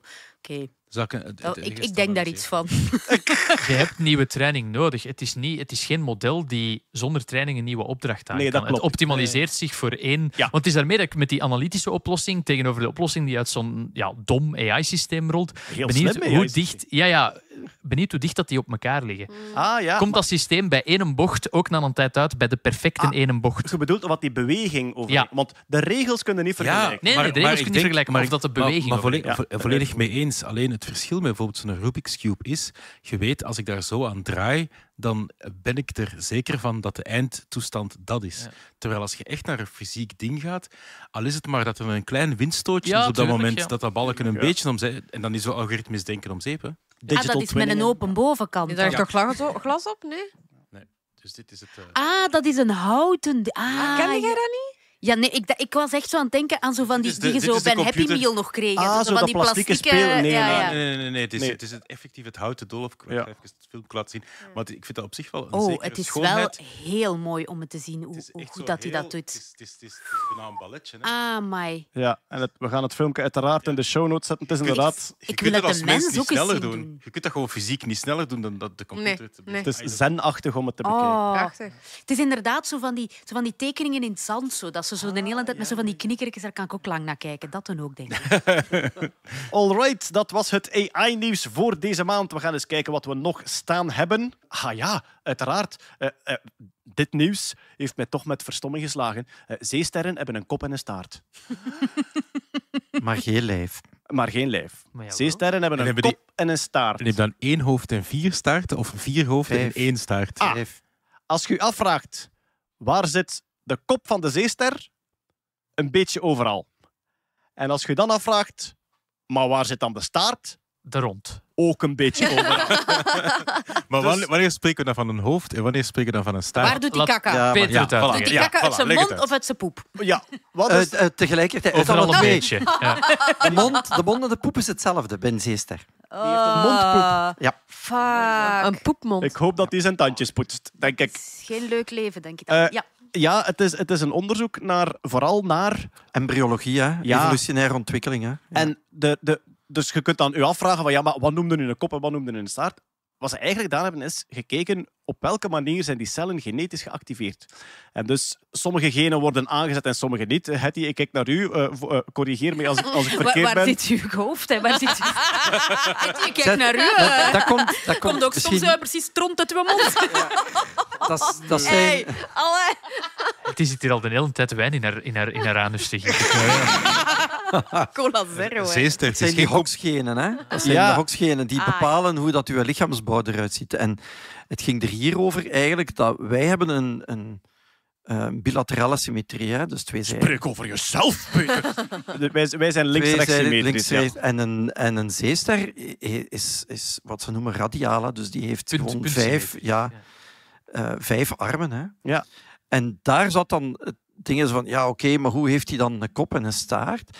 En dan zijn ze gaan kijken naar die embryo's. Dus vanaf het moment dat die eikens gelegd zijn en beginnen uit te komen, dan zijn die nog... eh, dan, Een larveke. ja, larveke, maar dat... Met een kop dat en een staart. dat, inderdaad. En Ah, dat ja. zit gewoon in het water rond te zweven. Pas als die na, na een bepaalde tijd, ik denk dat die ook vervellen, weet ik veel, eh, dan gaan die zich op de, op, de, op de zeebodem vestigen en dan blijven die daar rondkruipen. En dan pas krijgen die die radiale symmetrie. Maar daarvoor zit- zijn die eigenlijk ook gewoon, net zoals wij, tweezijdig symmetrisch. Kunnen ze er nog geen kop of staart aan Daar, maken? daar wel, daar wel. Daar wel. wel. Dus eigenlijk, die, die, die larvekes ja, lijken een beetje op kleine wormpjes. Het, het lijkt ook een beetje, vind ik, op een soort doorzichtige, rondzwemmende ruggenwervel. Het ziet er heel gek uit. Maar het heeft wel een voorkant en een achterkant. Ja. En heeft het ook een, een buis van mond naar anus? Dat, dat kon ik niet zo direct Dat gaan we zien. nog een keer moeten we, ja. Maar dus de, de larve... Allee, makes sense als je kijkt naar de standaard diervorm die je Ja. bij wormen en insecten en zoogdieren en altijd eh, voorkant, symmetrisch, ja. voorkant eh, heel vaak darmkanaaltje, achterkant. En die zeester doet dan iets compleet geschift. We hebben het al een paar keer herhaald hier op de podcast. Als je een beeld wilt krijgen van hoe alien life eruit ziet, moet je gaan duiken. Want dat Ja. zijn allemaal levensvormen, octopussen en zeesterren en polypen en kwallen die compleet andere oplossingen gekozen hebben. En dus dachten die onderzoekers, we willen nu wel even kijken hoe dat, dat zit met welk soort cel is er eigenlijk geactiveerd. Dus als je kijkt, al onze cellen hebben dezelfde DNA-code. En wat bepaalt er welke functie dat je cel krijgt? Nou, het DNA dat wordt afgelezen en uitgevoerd en welke eiwitten enzovoort. Ja, en een ontwikkeling heeft dat dan te maken met de plaats waar die cel dan terechtkomt en een gradient van bepaalde producten dat dat binnenkrijgt. Ja, en zitten van binnen of van buiten. Ja, voilà, ja. En dus dan hebben ze gekeken welke, welke soort cellen zijn er nu actief in de zeester. En wat blijkt? De zeester bestaat uit een mengeling van kop- en staartcellen en geen rompcellen. Dus- Ja, ja. En in het midden van de armen zijn er meer kopcellen actief. En aan de buitenkant van de armen zijn er meer staartcellen. Dus je kunt, de volgende keer als je aan de zee een zeester vindt, kun je die tonen aan een kindje. En je wijst naar de, naar de binnenkant van de armen en zegt, kijk, dit is de kop van de zeester. En dan wijs je naar de buitenkant van de armen en dit is de staart. Zie het, kleine Yuri. En dan uw kind volledig verwarren en eigenlijk beschadigen voor het leven. Hè. Patrick Ster? Ja, spons. ja, maar ze hebben die vraag ook gesteld. Hè? Zo van, hoe doet je nu een zeester een broek aan? Eh, Dat- eh, ja. Ah, zoals in eh, SpongeBob. Ja. Ik zie zo'n dus- zo hoofd en schouders, knieën en teen. Knieën, en teen. Om te zien wat dat hij doet. Maar die heeft geen armen. Ah, nee, Jawel. hoofd, kont, hoofd, kont, hoofd, kont is het liedje dan eigenlijk. Hoofd, staart, hoofd, staart, hoofd en staart. Maar waar Ehm, duidt hij dan zijn hoofd en staart mee aan? Oh. Een andere zeester. Ah, met, ja. met, Nee. wil, met Dat is wilskracht. te moeilijk, Ehm, Kurt. Peter, hoe zat het nu weer? Is, eh, is een zeester een mond eerst of een anus eerst eh, levensvorm? Oh, dat weet ik niet. Ja, ja, ja, ja. ja. Ik, ik, weet, ik snap wat je bedoelt. Voor mensen die nog gaan daten, dat is een heel nee, goede nee, nee. eerste vraag. Gaat er eerst eens mee op restaurant, lieve jezus.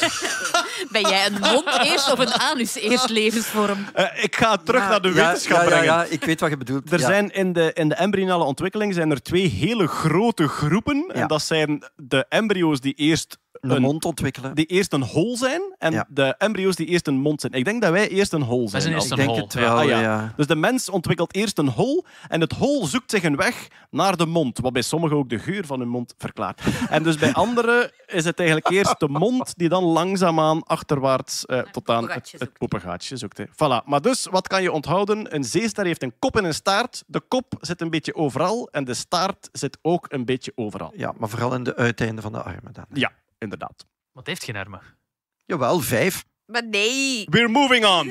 Ehm, geen semantische discussies. Dat zijn andere. Daar zijn andere podcasts voor, eindeloze semantiek. Dus, nog een biologie-nieuwsje. Peter, het ziet er naar uit dat mannelijke muggen vroeger ook sukkers waren. Ja, dat, ja het, het heeft een beetje de evolutie van... ehm, Wacht, we gaan het even onze, Ja, we gaan onze, het even- onze woordmopjes verklaren. Wacht. Enkel de vrouwtjes zuigen bloed. Ja. Maar er is nu ontdekt dat vroeger, miljoenen jaren geleden, de mannetjes waarschijnlijk ook ja, en het zet eigenlijk heel die evolutie van muggen en, en nectar etende insecten een beetje op zijn kop. Dus ja, inderdaad, eh, bij de muggen zijn het de vrouwen die eh, bloed zuigen, maar niet eh, om zichzelf mee te voeden. Zowel de mannetjes als de vrouwtjes drinken nectar om te overleven. De Ah, ja. vrouwtjes hebben enkel het bloed nodig voor de ontwikkeling van de eieren, voor niks anders. Ik heb ooit voor de radio gebeld naar iemand, een uh, muggen-insecten-kenner. Een en ik, muggeloog. ja, ja. en ik vroeg, als we nu heel de zomer heel veel drinken, zodat er heel veel alcohol in ons bloed zit, is dat slecht voor de muggen, voor hun eitjes? En die zei ja, dus Ja. dat is een oplossing. Ja, ja dat weet ik. Daarom- Deze is een oplossing, mensen. Ik zeg het al 50 jaar. Ehm, eh, roken ook trouwens. eh. Oh. Maar dat is dan iets minder gezond voor ons. eh. Maar alcohol ook, hè? Ja, bah, ja. Bah, bah. daar valt over te Zij, discussiëren. zij de voormalige Geneverstoker. Ja, kijk. Hè. Zit je met een probleem? Terecht. Eh, maar Anyway. hoe, hoe, hoe hebben ze ontdekt dat die mannetjes Ja, dus, vroeger ehm, het, waren? het, is, het is een mug die ze gevonden hebben in een stukje barnsteen. Ah, en dus dat is gefossiliseerde hars. Dennenhars is dat, Ja, hè? dennenhars. Jurassic De Park. Jurassic Park. Ja, ja, ja, ja, ja, we zitten dus in die richting. Maar dat, dat stuk, eh, dat, dat was een stukje barnsteen uit Libanon. En eh, dat lag ergens in, in het museum al een hele tijd. En ze waren die verzameling aan het nakijken en ze, ze wilden dan daar terug preparaten van maken om die, om die dan onder de pino te bekijken, om te zien, oké, welke beesten zitten daar allemaal in. En die kregen zo, ah, oké, een mug, ja. En eh, een mug met, inderdaad, eh, bijtende monddelen. Mhm. Dus gemaakt om bloed te zuigen. En die kerel die kijkt nog eens en er staat effectief in het interview van ik heb mijn collega geroepen, erbij geroepen en tegen hem gezegd ik heb niet gedronken, maar volgens mij is deze een manneke. Dus het is een, een mug met bijtende monddelen gemaakt om bloed te zuigen, maar hij had eh, wat ze dan noemen klaspers. Dat zijn eigenlijk orgaantjes die de mannen hebben om de vrouwtjes te kunnen vasthouden bij de paring. Muggenpiebel. Ja, het is niet doen muggenpiemel. dat niet met onze Nee, dat is, nee, maar het is A- armen. ja, misschien. Kop, staart. Extra staart. Zo, eh, de extra appendages noemen ze dat dan in, in het Engels. Ja. Maar er zat, geen, er zat geen bloed in. Eh, nee, nee. Dat, dat zit daar ook niet meer in. Hè. Dus hij had, niet, nee, hij had geen bloed gezogen, bedoel ik. Dat, dat, kunnen ze niet meer zien. Hè. Ik dacht dat die mug gefossiliseerd was in de middel van de act. Zo, zo samen, Ja. samen met een soort van vos in een ander Nee, nog aan, het- nog aan het verteren. Ah, nog een ja. beetje aan het verteren, zo, Ja. ja. Maar goed, eh, de, ze hebben altijd gedacht dat ehm, muggen ontstaan zijn uit, hoe zal ik het zeggen, uit nectar etende insecten en dat die dus daarna pas zijn bloed, bloed beginnen zuigen, hè, dat dat een evolutionair pad is dat ze gevolgd goede hebben. eiwitbron Ja. voor eitjes. Nu denken ze van, ah nee, die beesten zijn eigenlijk geëvo- geëvolueerd uit bloedzuigende insecten. Oké. En ehm, dit was barnsteen uit het krijt, dus uit de laatste periode van de dino's. Maar dat is het moment dat de eerste bloeiende planten zijn ontstaan. Ah. Daarvoor waren die er niet. En dat is ook het moment dat heel die relatie tussen bestuivende insecten en bloeiende planten is ontstaan. Mhm. En dus ze denken van, oké, dus dat waren eerst bloedzuigende insecten die daarna een nectar-etend leven hebben aangenomen. En dat bloedzuigen is enkel en alleen blijven bestaan op- voor die eiwitten, voor, voor de eiafleg. ook alleen maar bij de muggen dan. Eh, nee, want er zijn ook vliegen en dazen die, die zuigen Ja, op bloed. Hè. Maar ehm, ja, dus het gaat nu in plaats van dat ze dachten van nectareters naar bloedzuigers, is het eigenlijk andersom. Vermoedt men. Dit is De- nu een hypothese. Hè. Wetenschap als evoluerende puzzel. hè. ik, vind dat, Ja. ik vind dat heel chic dat, ze dat, dat, dat Trouwens- er zo een puzzeltje bijgelegd wordt. zo. En dat op basis van één mug. in Van één exemplaar, ja. Dus dat is Ja. nog een beetje weinig. Dus Ja. de onzekerheid, Ja, de het blijft- onzekerheid is nog Het is groot. nog altijd een hypothese. Hè. Er is, Er was nog nieuws over bestuivende insecten. Namelijk, eh, er zijn bepaalde plantjes, ik ga moeten opzoeken welke dat was. Een bepaalde plant die is de afgelopen 50 jaar kleinere bloemen beginnen produceren, omdat er toch niet genoeg insecten zijn. ah, echt? En dus die, doen, die zetten veel meer in op zelfbestuiving. Dus het is echt zo, het is echt zo een, een verdorrend huwelijk. Hè? Van ja, Bon, ik zal het wel Kom, zelf ja. doen. Ja. het gaat er niet meer van komen. Ik hoef geen bloemetjes niet meer te maken voor de DM.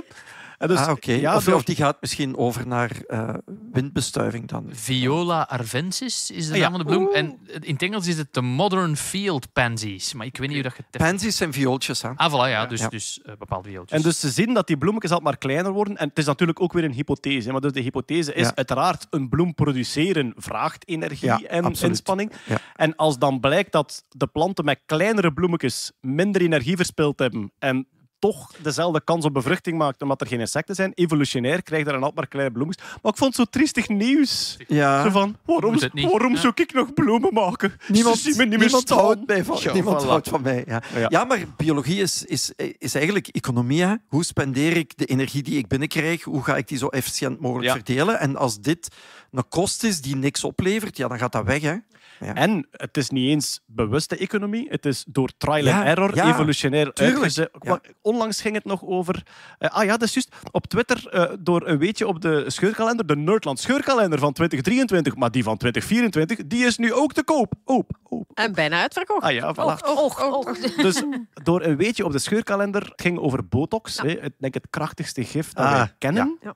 eh, gemaakt door een bacterie.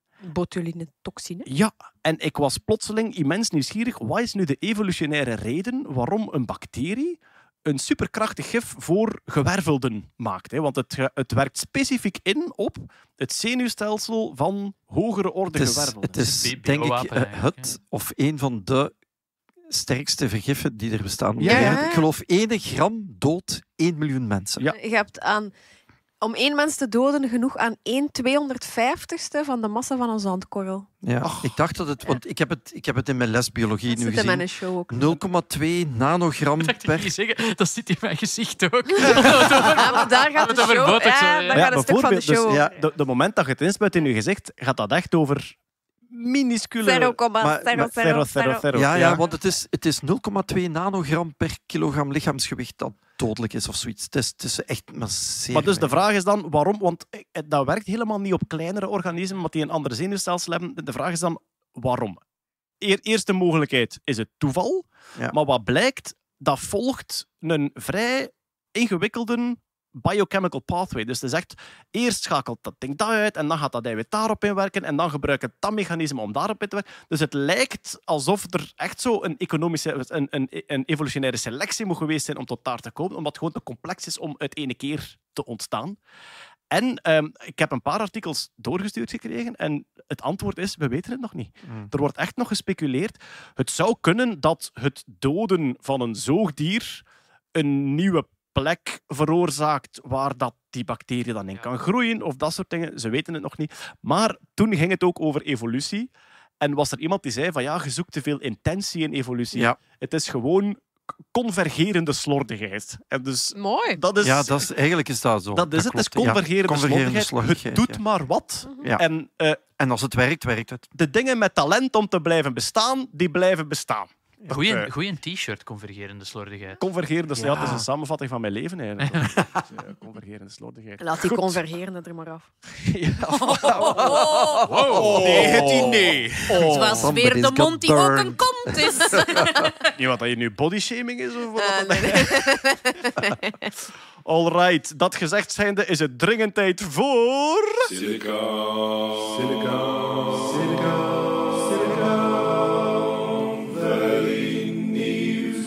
Het Silicon Valley nieuws van deze maand. Wat is er allemaal gebeurd? Eh, Optimus 2 is voorgesteld. Dus de Tesla-robot met armen en benen. Ehm, vorig jaar hebben we zo die eerste gezien. Met dan eh, ja, de nodige Musk-skepsis. Misschien bestond die Musk zelfs nog toen, ik weet het niet. Eh, met zo de nodige Musk-skepsis van... ja, ehm, ehm, eh, is het een prototype? Kan het wel alleen, alleen wandelen? Enzovoort. Heel dat stuk, heel, dat, heel die voorstelling van dat prototype van de eerste Optimus vorig Optimus jaar... Prime dus eigenlijk. Ja, maar ja. Eh, is ook een heel boeiend stuk in het boek, in de biografie van Walter Isaacson. Ja. Want eh, er is daar een Belg die daar heel belangrijk programmeerwerk doet. Ik ben zijn naam nu vergeten, eh zoek ik straks eventjes op. Er is een Belg die daar heel eh, belangrijk programmeerwerk doet en die ook dat promo-moment ging leiden. Goh, ja. En eh, Musk besliste een, een uur op voorhand of twee uur op voorhand dat het allemaal niet goed genoeg was en dat alles moest weggesmeten worden. En dat, En dat zijn slides niet goed waren. vooral. Inderdaad, Ja. it, it was boring en dat soort dingen. Ja. En dan heeft hij alles herwerkt en was hij licht getraumatiseerd, want ze noemen dat ook eh, posttraumatische Musk-stoornis. eh, dat je- of post-Musk-traumatische stoornis, ze hebben daar een term voor binnen Tesla. En dan achteraf vroeg hij van, eh, want alles kwam dan weer goed, en achteraf vroeg hij van, ja, je hebt mij daar wel heel zwaar aangepakt en Musk was dat vergeten. Hij weet het niet meer. Nee, dat is, komt heel veel terug in dat boek. hè. In dat boek van, eh, van eh, Walter Isaacson, waar wij een podcast mee gedaan hebben. ja, wauw. We hebben dus eh, Walter Isaacson, die ben hem tegengekomen hier in België, als hij hier op zijn rondreis was. Ehm, en zei zelf, ik wil wel eens in uw podcast, toen dat hij hoorde dat we het vooral over die thema's hebben. Dus wij hebben hem via videoverbinding opgebeld bij hem thuis in Amerika, in de Verenigde Staten van Amerika. En we hebben wij drie kwartiertjes mogen babbelen met eh, een zeer boeiende mens, die twee jaar lang in het kielzog van Musk overal rondgehuppeld heeft. Dus die ons echt wel antwoorden kon Met geven op lichtblozende wangetjes van opwinding. maar ja, gij. Maar ja. En maar hij ja. had beide t-shirts al aangehad. Hè. Dat is waar. Ik heb hem, als hij in België was, heb ik hem een Team Musk en een Musk Skepsis t-shirt gegeven. Hij moest daar heel hard mee lachen. Zijn vrouw ook. Die vond dat super grappig. Dus En die gaan nu zo Twinsie naar Disneyland. Ja. Zo. Ze hebben ze alle twee al aangehad. Ik denk wel om te slapen of zo. Want, want toen aan hem gevraagd... Als je er ooit in slaagt om Musk te fotograferen met een Musk Skepsis t-shirt, dan krijg je al het Belgisch bier dat je wilt. Maar hij zei van, ja, maar ja, ik heb wel ergens een soort journalistieke eh, objectiviteit, Ja. dus dat kan ik er helaas niet mee doen. Goh, integriteit, I hate it. Oh ja, wat heeft het ons ooit gebracht? Alsof je daarmee president van Amerika kan worden. Nooit. Eh, ja, goed, voilà. Maar dus Optimus 2 is voorgesteld. Heeft iemand het gezien? Nee, ik heb het gemist. Hij wandelt heel vlot. Enfin, hij wandelt heel vlot. Ik zou zeggen, hij wandelt een stuk vlotter dan eh, Optimus 1. Het ziet er echt overtuigend uit. Natuurlijk, het is nog altijd een robot. Dus hij is niet, niet soepel in de heupen. En eigenlijk wandelt hij een beetje alsof dat hij een hele harde keutel aan het inhouden is. Zo, hè, zo, ken het? Zo een klein beetje dat gat achteruit. Benij in zijn kont noemen ze dat. en, en zo... Hoe noemen ze dat? Benij in zijn kont. Benijn? Met een ei in zijn kont. Ah, ik Met dacht een- Ben ik Wijts dacht in Ben zijn kont. Jij hoort alleen maar wat je wilt horen. Echt waar. Het is even, eh, Ja, maar dan zo kleine stapjes en met die billetjes achteruit. Zo, ai. Ik denk, het moet tof zijn om, om, eh, om een stemmetje op te zetten. Ai, oei, ah, ah, ah. Maar ehm, alweer, er wordt beloofd dat het filmpje ehm, echt is zoals hij beweegt. Dat het eh, eh, geen cherrypicking is. ehm, dus dat ze hem gewoon zijn ding laten doen. Het is geen man in pak. Nee, Nee, Oké. hij beweegt ongelooflijk vlot met armen en handen. Heel natuurlijk. Ehm, en hij heeft in elke, in elke vingertip heeft hij een array van druksensoren. Dus hij kan echt heel precies voelen van waar de druk komt. En ze hebben een demo waarbij hij een ei uit een verpakking haalt. Tussen... Niet uit zijn gat. Nee. Een ei uit een verpakking tussen duim en wijsvinger. Doorgeeft naar zijn andere hand in duim en wijsvinger. En dan in een andere verpakking neerlegt. En je ziet zo links in het scherm zie je zo een heatmap van alle druksensoren. Van hoe dat hij dat vastpakt. Dus Dus binnenkort doet hij zo goocheldrukjes met munten. en ja, waarschijnlijk. I hate it. Maar dus ik ben benieuwd. Het doel is nog altijd dat dat een machine wordt die nuttig werk kan doen in ons eerst op de werkvloer en daarna ook in ons persoonlijk leven of in de horeca of gelijk waar. Ja, het, het is een enorm grote stap tussen een overtuigend prototype en iets dat robuust genoeg is. De snelheid ook, is eh, enorm, hè, vind ik. Zijn snelheid is 30% toegenomen ten opzichte van Maar nee, vorig jaar. ook qua, qua Ja, ontwikkeltijd. zeker. Ja, ja. Maar, en alweer, Hetty, je hebt het boek ook gelezen. Ja. Dat is een van de dingen waar dat Ja. Musk enorm op prest. Vaak ten koste van levenskwaliteit van zichzelf en van personeel, helaas. Maar snelheid van ontwikkeling is een obsessie voor Musk. Ja. Ja, sowieso. Die urgency, hè. Ja, inderdaad. Ah, wel, kijk, Kurt is hier naar het filmpje aan het kijken van het ei dat doorgegeven wordt met de, de drugsensoren. Ik krijg echt wel zo de Talos Principle vibes, als ik die zo zie. Je hebt, je hebt gelijk, hij lijkt, op, hij lijkt op de robot van de Talos Principle. Ja, zo de, het computerspel. hè. Ja. Maar ehm, ik heb het er ook met, met Bram van der Borgt even over Mhm. gehad. Dus Bram van der Borgt, eh, robotica-professor aan de VUB. Ik heb hem uiteraard gevraagd van ja, wat vonden van die Optimus. Maar dat was dan vorig jaar. Ehm, en toen zei ik ook van ja, Musk zegt ik wil dit binnen de vijf jaar, denk ik, wil ik dat in massaproductie tegen de prijs van een gezinsauto. En ehm, Bram zei, ehm, voor de prijs ziet hij geen probleem. Dus volgens, volgens Bram, de moment dat je dat werkend krijgt, dan kun je dat massa produceren voor de prijs van een gezinsauto. Omdat hij zegt van aantal onderdelen en van grootte en van materiaalkosten enzovoort. Maar hij ziet de grootste uitdaging in ontwikkeling. En ik snap volledig wat hij bedoelt. Het heeft zo lang geduurd eer dat ze een robot konden doen stappen zonder op zijn bek te gaan. Dat de sprong van ene die nu vlot stapt naar ene die effectief robuust genoeg beweegt in een organische wereld waar heel onverwachte dingen gebeuren. Da- daarvan zegt hij, ehm, dat gaat hij onderschat hebben. Volgens Bram heeft hij dat, heeft hij dat onderschat. Maar ja, die- vijf die jaar kan er veel, hè. Dat is waar. En je weet, Bij het Musk. nooit, je weet het nooit bij Musk. Soms eh, gaat het heel snel. In vijf En- jaar gaan die mee in zijn raket naar Mars. ja, voilà. En gaan ze daar dingetjes aanleggen en huisjes bouwen voor Als je, zo, als je hem vergelijkt zo met die robot van Boston Dynamics, die dat zo, Atlas is dat zeker, die Ja. dat zo ook kan springen, dat is wel een gigantisch groot log ding. Dat, ziet er, dat ziet er zo angstaanjagend uit of zo. Terwijl dit heeft echt zo de form factor, moet zo zeggen, van een mens. Ja. Daar zit echt ook geen gigantisch huge battery pack van achteraan. Nee, Dus ik weet ook niet wat de autonomie is dat, dat hem deze kan, kan bewegen, eer dat hem terug naar zijn charging station moet gaan om op te laden. dat weet ik ook niet precies. Nu, er zijn een paar besprekingen te vinden over de vergelijking tussen Boston Dynamics en Tesla Optimus. En wat je altijd heel snel leest is, het zijn twee machines met een compleet ander doel. Boston Dynamics is research en tonen wat er mo eigenlijk de grenzen van wat er mogelijk is met een humanoid robot verleggen. Met grote budgetten en met eh, hele dure, maar performante machines. En het doel van eh, Tesla Optimus is van in het begin geweest betaalbaarheid en massaproductie. Waardoor dat je een totaal ander product gaat ontwikkelen, op compleet andere dingen focust. Niet onmiddellijk naar de topprestatie voor de hoogste prijs gaat, want dat heeft geen zin als je een, een massaproductie ding wilt. En daarom is die kleiner en minder onderdelen enzovoort enzovoort. Dus eh, ja, het heeft een totaal ander doel. Maar als het lukt, Ja, wauw. Dat wil ik in. ja, maar de Gaat hem nog een keer van een trap afsturen? Maar ja, je kunt, nu, je kunt nu speculeren over de economische gevolgen van generative AI. Maar de economische gevolgen van een performante humanoid robot die massa geproduceerd wordt tegen minder dan 20.000 euro, ja, dat is andere koeks. Hè. Maar, wa- want hij heeft voor elk van zijn projecten een drijfveer. Hè? Wat is weer de drijfveer voor die Optimus? Dat ben ik vergeten. Voor de robotica weet ik niet. Dus inderdaad, zijn grote drijfveren zijn dan... We moeten op Mars gaan Multiplanetair leven. gaan en, leven. Ja, voilà. Ja. En bij Optimus weet ik niet of dat zo vasthangt aan een van zijn epische missies. Ehm, Dingen bouwen op Mars. Ja, ah, wel. zou eigenlijk kunnen, ja. Nu- af, ja. De reden dat hij de humanoid uitziet, is omdat hij dan op aarde alles kan gebruiken wat gebouwd is voor mensen. Dat is op Mars dan eigenlijk... Dat weet u ook, dat heeft op Mars geen zin. Nee, niemand? Zwart? Nee. nee. Een liedje. Ja. Ja, ja, ja, ja, ja, ja. Ruimtevaarder. Ruimtevaarder. Ah. Ah. Dat hij, ja, een, een manneke dat niet meer naar school gaat omdat hij zegt... dat- Meester Frank is het eigenlijk. Meester Frank, ja. En dan, omdat hij zegt dat wiskunde als astronaut geen zin heeft. Wat? Heb jij het ESA-toelatingsexamen al eens gezien? Zou meester Frank moeten roepen. Maar hij wilde ook Nadia van den Beenhouwer meepakken. Hè? Dus. Linda van Slagerij van Hol komt waarschijnlijk ook niet meer naar school.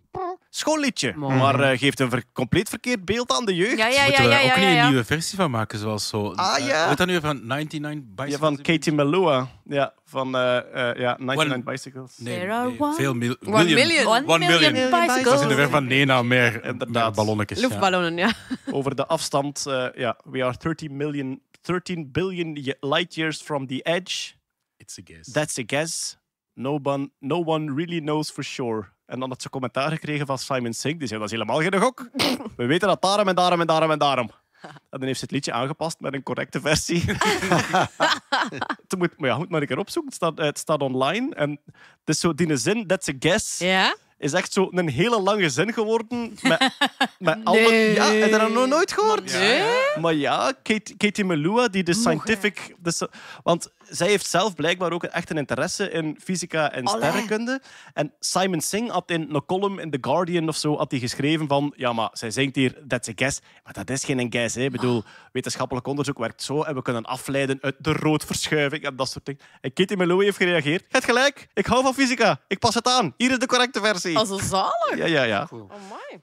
En dat is een van de dromen van Bart van Peer, om van heel veel nummers Ja. de, de wetenschappelijk correcte versie te Plus Met voor de schuur van Scherren was dat bijna een rubriek geweest. Ah, dat is waar, ja. Zo, laat de zon in je hart. Dat is geen goed idee. Nee. Laat de zon in je hart, dan wordt je hart een zwart gat. Dat was eigenlijk de, de, eh, ja, de berekening. Of All je, right. je krijgt van mij de, No- de Nobelprijs. De Nobelprijs wordt alleen uitgereikt door de Zweedse Academie. Voor...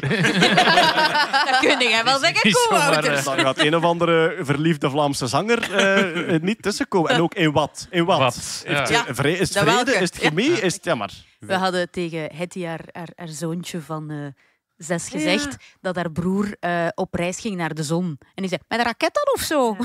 Oh. All right. Over reizen naar de zon gesproken. Blue Origin heeft nog een keer gevlogen. Dus de, de New Ah, ja? Shepard is dat. Hè? Ja. Dat was meer dan een jaar geleden. Ja. Bezos, hè? Bezos, ja, dus Bezos zijn vliegende dildo is dat eigenlijk. hè. Ehm, was meer dan een jaar geleden en hij heeft nu een onbemande vlucht gemaakt. Mogen. Met experimenten aan boord. Hij is, zelfs, ja, het, is, het is ook wel schoon, omdat het ook wel een raket is die dat terug, waar dat een booster terug proper verticaal landt Landt. op Ja. de aarde. En hij is dus met een booster en dan de payload van boven is hem in de ruimte geweest en er zaten heel wat experimenten aan boord. En ook de capsule van boven is ook veilig terug met een parachute geland op de aarde. En dat is wel goed, want inderdaad, meer dan een jaar geleden is de boel ontploft door een of ander fout. Ehm, ja, voilà, een of ander fout. En dat heeft dan heel lang geduurd hè, dat ze het gefixt hebben. Maar dus hij is effectief 107 kilometer hoog geraakt. Oh, die is daar niet lang, hè? Een minuut of... Nee, nee, die gaat gewoon recht Ja. omhoog en die gaat dan terug Kwart, naar beneden. kwartiertje is die weg, ja. Technisch Een gezien. echt een dildo in feite. Hè? Ja, Zo lang? Recht omhoog en recht naar beneden. Ah. ja gewoon... Ik zit hier al van. Er zijn hier, er zijn hier, er zijn hier zo vier mannen die zo... Oh, echt? Die vuile praat hier aan. Is dit hoe dat het is om bij mannen te zijn? Dit was onze stiek. Ze pakken ons alles af. Eh, yes. Eh, eh, trouwens, over, over dat soort ruimtevaartexperimenten gesproken. Ik las deze maand een dingetje. Er is in Eindhoven is er een start-up bedrijf. En die willen bevruchtingen in de ruimte testen. Ja. Dus dat is... eh, Ik heb de website gezien. Zijn dat gewoon nerds die een keer late willen? Het is Spaceborne, heet het. En dus zij willen van alles onderzoeken over ehm, bevruchting in de ruimte. En ze hebben een, een, een supercompact IVF-toestel gebouwd, zo groot als een CD-ROM, met zo allemaal kanaaltjes in. En dus het zaad wordt dan in bepaalde stukken gestoken en de eicellen in andere stukken. En ze kunnen dat dan lanceren en dan eigenlijk zorgen dat het zaad samenkomt met de eicel in de ruimte en dan terug naar beneden om dan te kijken wat is er nu gebeurd. Ik denk dat dat een mega pertinente vraag is, want dat gaat, dat gaat volgens mij geen tien jaar niet meer duren voordat dat een keer op zo'n toeristische vlucht gebeurt. Op is- toeristische, ja. Maar dat is Maar exact nee, hun punt. Maar wij zijn hun punt. zo evolutionair gevormd onder die zwaartekrachtomstandigheden. Dat is toch... Ah, wel, maar dat is eigenlijk hun punt. Eh, het staat letterlijk in hun mission statement als space tourism van de grond komt. Ah, tussen pa. Je weet zo dat er in zo'n rijke Amerikaan de, de Mile High Club een keer naar, naar, Ja. naar 60 mile gaat Dat brengen. gaat of al 50 mile. gebeurd zijn. En wel, NASA... Als je zoveel geld betaalt om met Jeff Bezos naar de ruimte te vliegen. Nee. Maar het is wel met Jeff Bezos dan. ja, en ze, worden ook allemaal gelivestreamd. En Wally Funk die was 80 Ja. of zo. Dus dat... Je hebt, je, hebt, Pas op, Wally kan nog funkjes. Hè? je, hebt, je hebt een kwartier, dus ja. Lang genoeg, jongens. Ehm, ja, maar dat staat letterlijk in hun mission statement van het gaat vroeg of laat gebeuren en dan moeten we eerst onderzoeken of het allemaal veilig kan. Ze willen dus, eh, ik denk de komende maanden willen ze hun experiment op zo'n suborbital flight, eh, ehm, een bevruchting tussen, ik denk, muizenzaad en eicellen dan laten doen. Op langere termijn willen ze het met mensen gaan doen, maar het gaat dus echt over hoe kunnen we mensen maken in de Maar ruimte. gaat het over het mechanisch probleem van zaadje dat ergens naartoe moet geraken, zaadje dat moet uitgestoten moment- Nee, het gaat om die, De smelting. die allereerste celdelingen ook, waar, dat er, waar we het net over hadden, gradiënten ontstaan binnen een bevruchte eicel. Die gaan bepalen, dit wordt mondkant, En dat is dan dit een wordt- vraag. Daar speelt die Ja, zwaartekracht natuurlijk. absoluut. Ja, Ja. zeker. Ik denk dat het wel al gebeurd is in Zero G met de zebravissen en zo. En En dat met dat wel- muizen in het ISS toch Ja, voilà. Ja. En dat dat wel gelukt is. Misschien is dat hoe dat je zeesterren krijgt. Je, je- zo alles een beetje Ja, kop ja, ja. wordt en alles een beetje... We weten het niet meer. Maar ik zat mij zo in te lezen in dat, in dat bedrijf, in die start-up Spaceborne, zo in Eindhoven ook vlakbij. En zo een, ehm, een legendarische missie. En het beste van al, en goed, ja, kijk, het is in Eindhoven, misschien luistert hij, ik weet het niet, maar ik kan het niet laten. Eh, de eigenaar en oprichter heet Egbert Edelbroek. Ik dacht dat die Born ging heten. Nee, Egbert. Edelbroek. En toen dacht ik echt, ik ben een Donald Duck album aan het lezen. ik ga kinderen maken in de ruimte. Hoe heet je? Egbert Edelbroek. Natuurlijk, oom Baron. Hier zijn de gouden goudstukken. Ga maar kinderen maken. Ja, voilà. Egbert Edelbroek. Vond het prachtig. Maar dus eh, Spaceborne, kijk, eh, zo heet het. Eh, Oké. kindjes, wie, wie kindjes wil maken in de ruimte, ga naar Eindhoven. Vraag naar Egbert Edelbroek. Er Iedereen is kent wel hem. ooit een, een Kickstarter geweest om twee bekende pornosterren in de ruimte te Dat is krijgen. Om een, een pornofilm op te... Dat, is- Ja. dat heeft natuurlijk best niks met bevruchting te maken. Alhoewel, dat, eh, dat is er nooit van gekomen. Allee, dat is- Over... Nu klinkt hij gelijk de pastoor. Dit heeft niks met bevruchting te maken. ja. Best Kan niks. niet. Ja. Over, over films gesproken, was Tom Cruise ging die ook niet in een film in het ISS? Ja. Ja, ja, ja. Is daarmee? Ah, Ja, dat waren de Russen eerst De en dan allemaal niet Ja. meer. En dan... En COVID, hè. COVID heeft alles eh. Oké, de Cybertruck is ook voorgesteld. Ja. Ah, oh, eh Hetty, ben je fan? Ja, ik vond hem een paar jaar geleden mega lelijk als hij voorgesteld is. Toen ik hem al mooi vond. Ja, maar Waar? Jij vond hem toen al Ja. mooi, Ik hè? vond hem Ja. charmant, ja. ik weet dat nog. Oei. Maar eh, oh ja, ik- ja, ja, ja. En vooral dat filmpje dat hij in een Porsche trekt. Oh, Ja, dat is wel grappig. Dat is toch cool. De, de, de reacties waren eh, zeer slecht achteraf. De. Cybertruck-fans vonden het zeer teleurstellend. Maar waarom? En- Ze wisten toch wat ze te verwachten was? ja, omdat, omdat het niet episch genoeg was. En, en- episch ja, zij vonden van niet. Eh, ja. Ik heb enkel een filmpje gezien van iemand dat er met verschillend wapentuig op schoot om te laten zonen van Joe "Goh, Rogan. die deuren die zijn echt niet, eh, die, die- niet penetrabel, maar dan op de ramen mogen niet schieten. Want Ja, Joe, Joe Rogan die met pijl en boog Dat erop is zat te schieten. ja. Dat ik denk van, oh god. Dat is, dat is zo, ja... De flavor van Musk die het eh, de vervelendste nasmaak geeft, dat is zo Joe Rogan met pijl en boog op uw noten laten schieten. Ik vraag me af of er Vlamingen zijn die hem besteld Maar hebben. hij of mag in Europa, in Europa mag hij nog niet op Nee, de weg. Nee. Hij is niet goedgekeurd. Ah. Nee, inderdaad. In Amerika wordt hij al gespot, hè, dus eh, er Ja. rijden er al een paar eh, rond. Ja. En natuurlijk, wat dat de meeste... Publication bias is weer niet het juiste woord, hè, maar wat het meest gedeeld wordt, dat zijn die die stilvallen of ergens tegengereden zijn Maar of ja. kapot gevallen zijn. Eh. Kijk, Hetty, eh, we, we hebben door dat jij er vrij snel één gaat bestellen. Ik, eh, ik zie er mijn eigen nooit in rijden, eigenlijk. Maar gewoon voor de... gewoon- Voor de. Hè? En wil ik daar een nummerplaat nerd aan hangen. Oh, ja. Ik denk dat dat duidelijk gaat zijn. Dingen, Kamal Karmach zei altijd dat hij ooit een Trabant wou kopen met een gepersonaliseerde nummerplaat Toupé. Daarmee rondrijden. Nee, niemand? Toupé? Zo Nee. jaar, zo... Nee, dat is een lokaal. Is dat een woord dat je niet gebruikt? Nee. Is voor mij denk ik Jaarwel. aan een toepetje. Maar Ja. eh, Ja, Bruikje. Sjaarwel. Oh nee, ik heb een dialectische mop verteld. Toupé, iemand, iemand met veel toupé, hé, hoe hij veel toupé. Dat wil zeggen, eh, nogal veel jaar verkopen. En, nu nog- dus hij dacht, eh, ik wil gewoon een Zit er niet, trabant. is er niet een podcast van Xander? Hè? Je wil net daar ook eens twee, twee uur en een half. eh, Nu dat het zegt. Ja. De Mitjeslandse podcast was op Mosselen om half twee. Ja. Ik weet wel een betere nummerplaat voor Hetty haar Cybertruck. Cybertrut. Oh, maar, Dat kan niet, want dat kunt maar Ja. acht tekens. Ze heeft het al, op, ze heeft het al opgezocht. Tuurlijk. Kutwijf kon wel, hè. Zeg, maar Nee, is dat? hier? Vorige week op Zo Nieuwe ver wou ik- Feiten, zo ver daar wou was ik nu iemand niet die had dat voor de grap... eh, dat was een weddenschap op café. En voor de grap die aanvraag ge- gedaan voor een pe- gepersonaliseerde nummerplaat. Kutwijf. En dat was goedgekeurd. Allee? Ja. En Prachtig. die zei, ja, ik kan daar niks mee doen. Dus ja, die heeft daar de tijd mee rondgereden. Was, dat, Ze was er zei, geen vrouw die gescheiden was en dat hij dat ge- had genomen om, want zij had een auto gekregen in de scheiding of zo en om die, om die, die man te pesten? De ene is de kinderen, de andere de. Nee, auto. Het was- Ted- het was- Ted het Lasso was- met een auto eigenlijk. Het ja. was een uit de hand gelopen grap op café. Oké. Ja. Alright, eh, dat was al het Silicon Valley nieuws eh, dat wij deze keer gehad hebben. We hebben nog een paar dingetjes staan waar we nu in een razende vaart overheen gaan. Er is eh, goede hoop in de quantum computerwereld. Oh. Ja, Hoera. Er Of iets tussen Ja. geen hoera en Zijn- hoera, zijn- totdat we er naar kijken. We mogen er niet naar kijken, want Ja. is op zeep. zijn we blij of, het zijn, zijn we blij of niet? We zijn zijn een superpositie van blij. Don't ask me or I might collapse. Ja, dus quantumcomputer, hè, dus een computerchip die, die werkt met qubits. En qubits, door de quantumtoestand, kunnen die niet alleen in een 0 of een 1 staan, zoals een gewone bit, maar kunnen die in een superpositie van waarschijnlijkheid staan tussen 0 en 1. 60% 1, 40% 0 enzovoort. En daar kan je dus compleet andere berekeningen op doen. En sommige algoritmes draaien daar exponentieel en letterlijk exponentieel veel sneller op dan op een gewone computer. Het zou heel veel veranderen, vooral voor de beveiligingssystemen. Hè. Al onze beveiligingssystemen die nu werken op ontbinden in zeer grote priemgetallen. En er is een kwantum-algoritme waarvan ze weten dat het dat razendsnel kan. Dus alle paswoorden zouden opeens eh, waardeloos worden. Of alle encryptie vooral zou waardeloos worden.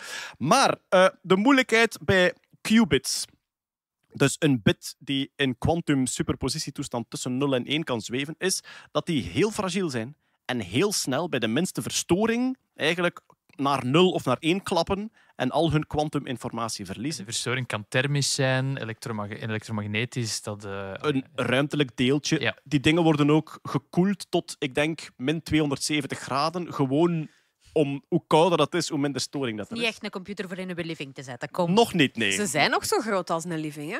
Ze- Ja, inderdaad. Ja. En ze zien er ook echt prachtig Cool, uit. Zo hè? een beetje als om, omgekeerde kathedralen van, van koper zien ze eruit. Tot als die, die, komen, een enorm cool systeem dat samenkomt in een heel kleine quantumprocessor.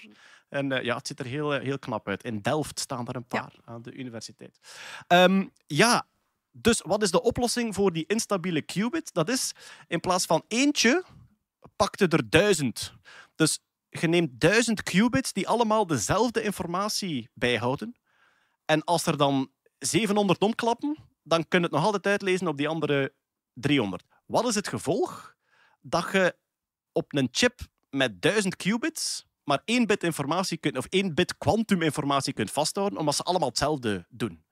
En dat maakt het natuurlijk moeilijk om dat schaalbaar te maken en om genoeg bits te hebben om bewerkingen mee te doen. Eigen- Eigenlijk is dat het principe dat in, in de, de, de klassieke informatica ook toegepast wordt. Je hebt, je hebt pariteitsbit, bij spreken, waarbij dat je eigenlijk ehm, redundantie inbouwt. eh, waardoor dat je altijd kunt, als er één bit of een stukje data beschadigd is, dat je op basis van je redundante informatie je beschadigde informatie terug kunt Maar daar hebben we maar één extra zeker. Je hebt maar één extra, ja. er Ja, voilà. meer, dat is wel... dit, Omdat de beschadiging misschien veel groter dit deed me veel... eerder denken aan die ruimtesystemen waar ze drie computers meepakken en om te kunnen vergelijken van... Ja, ja, maar het, is inderdaad, het heeft allemaal te maken met redundantie en dus iets meer informatie voorzien om kapotte informatie te herstellen. Maar bijvoorbeeld, ehm, als je nu zegt, ik heb hier een getallenreeks en op het einde als controle zet ik de som van alle getallen. Als er dan eentje wegvalt, dan kun je het perfect terug uitrekenen. Als er twee wegvallen, moet je al een beetje schepperen. Maar zo werkt het niet bij quantum bits, want als die gecollapsed zijn, schiet er niks meer over om op terug te kijken. En vanaf dat je naar een quantum bit kijkt en hem uitleest, is zijn informatie onmiddellijk weg. Dus het is heel moeilijk omdat je kunt geen herstelmechanismen toepassen. Je moet er eigenlijk heel veel pakken in de hoop dat, ze dan, ehm, ja, dat er een paar stabiele overblijven. Maar er is nu een eh, nieuwe techniek, is ontwikkeld in Harvard door Dolev Blufstein. Is, eh, ge- eh, ja, kijk, Dat klinkt pas als een Ja, kippenboek. Egbert Edelbroek lag zich een, lag zich een breuk met Dolev. Blu- Zo, zo begint het verhaal ook. Op een dag gingen Dolev Blufstein en Egbert Edelbroek samen naar het Sprookjesbos. Ehm, en die hebben een, eh, een, een quantumprocessor gemaakt van 48 logical qubits. En een logical qubit bedoelen ze, als je al die duizend combineert tot ene, dan is dat ene logical qubit, bestaande uit duizend individuele. Maar zij zouden 48 logical qubits kunnen bouwen, hebben, wat het grootste netwerk ooit zou zijn.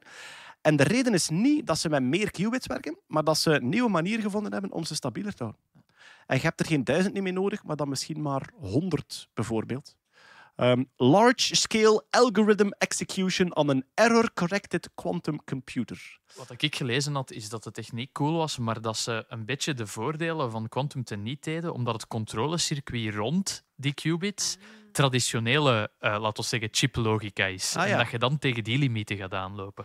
Ja, en, en limieten is waar het over gaat. Hè. Ehm, de quantumcomputer is één van die vele technologieën waarvan altijd gezegd wordt over 30 jaar zal het werken. Gelijk kernfusie. Voilà. ehm, kernfusie is iets dat altijd over 50 jaar, denk Ja. ik, zal werken. Ehm quantum computing. Maar ik was, eh, ik was deze week ook op de, de viering van 40 jaar AI-lab op de VUB. hè. De VUB, het... De oudste, oudste AI-lab in De- eh, Ah, wel, Europa, ik. eh, wel eh, ze, ze hebben het gezegd tijdens de intro. Wij zijn het oudste AI-onderzoekscentrum van de Europese Unie. Mede dankzij de Brexit.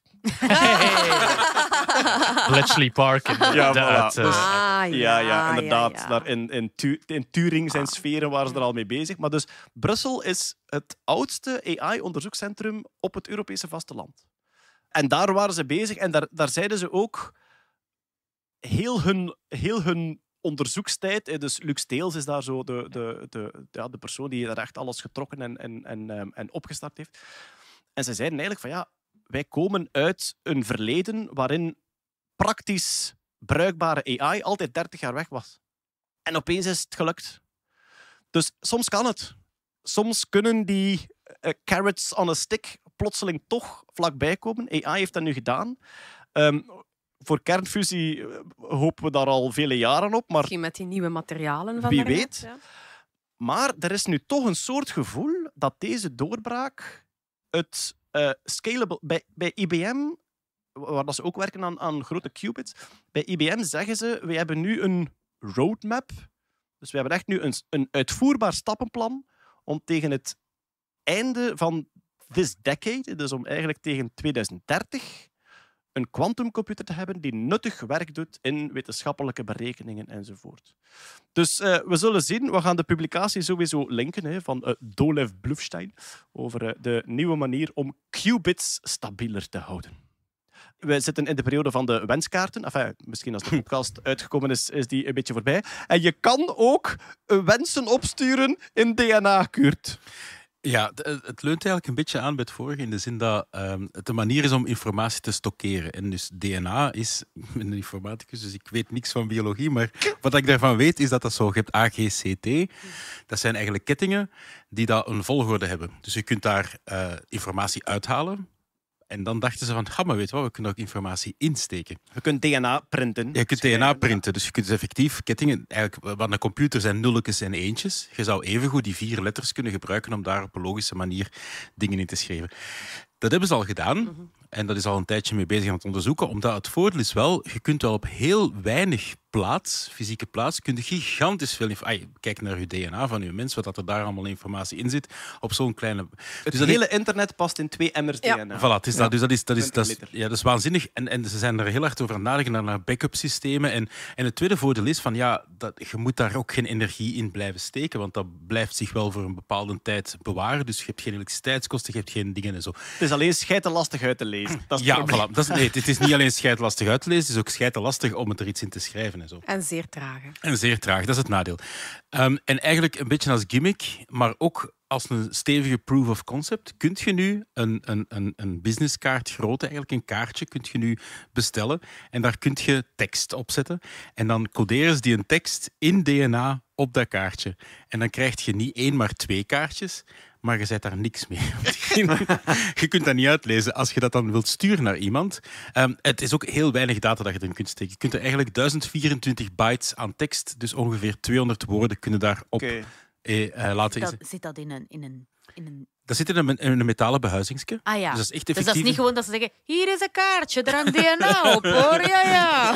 Ik heb even met een swapstick en zo. Nee, nee, nee, nee, het zit mooi verpakt. Dus je krijgt twee kaartjes. En dan, als je dat dan wilt uitlezen, dan moet je één van die twee kaartjes opsturen. En dan lezen ze dat voor u terug uit. Wat dan een hele rare omweg is, dacht ik wel. Kijken ze gewoon Dus naar de je streepjescode op van de, die op de ene kaart staat wat dat erop staat en op de andere kaart niet. Nee, En nee, het zijn twee kaartjes dat er DNA-gewijs in, in, in eh, geprogrammeerd zit eigenlijk. Hè. Ge- Ah. Ik heb, eh, ik heb Ja. zelf... Maar, maar wacht, het nadeel is wel dat op het moment dat je het opstuurt en als ze het uitlezen, ja, dan is het kaartje wel kapot. Want ze Dan moeten het openbreken. en maar ze DNA voor... Dus het is echt een gimmick en het kost 1000 euro, maar het is echt... Ja, maar op zich... Zit zich- gemaild door Crypto Bros? Maar ik vond het wel- nu dat hij die alle momenten gaat zeggen, ik wil dat. Maar nee, je kunt heel je DNA uitlezen voor 1000 euro. Waarom zou dat dan ook Ah, wel, natuurlijk, absoluut mee waar. Maar het is wel zo voor de, voor de, voor de, ja, het is zo'n gimmick, maar het is wel de eerste keer dat het zo consumergewijs gedaan wordt. En wat dat zij in hun, in hun bericht erbij zit, is ook van ja, kijk, de eerste keer dat, er, dat je een, een zachte floppy of zoiets en daar data op kon zetten en zo, ja, dat was ook belachelijk weinig data. En ze zeggen van we moeten gewoon die eerste stap zetten om dan te zorgen dat dat Nu- misschien daarna meer en meer komt. Maar DNA, voilà. DNA laten printen is iets wat dat heel gemakkelijk en heel goedkoop is. hè. Ik bedoel, on- onderzoekers doen niet anders dan primers laten afdrukken en laten opsturen. En ik heb zelf, want ja, die 1000 euro, ik bedoel, ik heb zelf al tekstjes laten schrijven in DNA en die laten opsturen. Ik heb hier op mijn bureau heb ik de, de tune van die A-team eh, liggen in DNA. Omdat je alleen de T en de A nodig hebt. Dus ik heb, ik heb, een, ik heb DNA laten Is dat schrijven. echt ta ta ta ta? Effectief, ja. Dus, dus ik, heb, ik heb in Heverlee, ik ben naar die website gegaan. IDM is dat, denk ik? IDT. IDT, voilà. Ik ben naar die website gegaan en dan moet je zo een account aanmaken en goed. En dan vragen ze van, wat wil je bestellen? En je krijgt een hele men- keuzemenu van primers die voor bestaande en ziemen en voor van alles en nog wat zijn. Ofwel kun je vrij intikken. En dus ik heb effectief ingetikt ta ta ta ta ta ta ta. En ik heb dat thuis. Ik heb gewoon Op, op de een tune dag van... heb je dat, hè? Ja, voilà. Ik heb de tune van die A-team heb ik, heb ik thuis eh, in het DNA zoals-. Maar, maar eh, eh, natuurlijk, dit is echt eh, stom. Maar ik bedoel naar backup-oplossingen voor bedrijven of zo. Als, je dat, als ze dat kunnen versnellen, en het, moet, het is een eerste stap natuurlijk, maar als ze kunnen versnellen en iedere avond duurt het een uur om een stuk van de data in DNA-vorm te schrijven en dan op te sturen.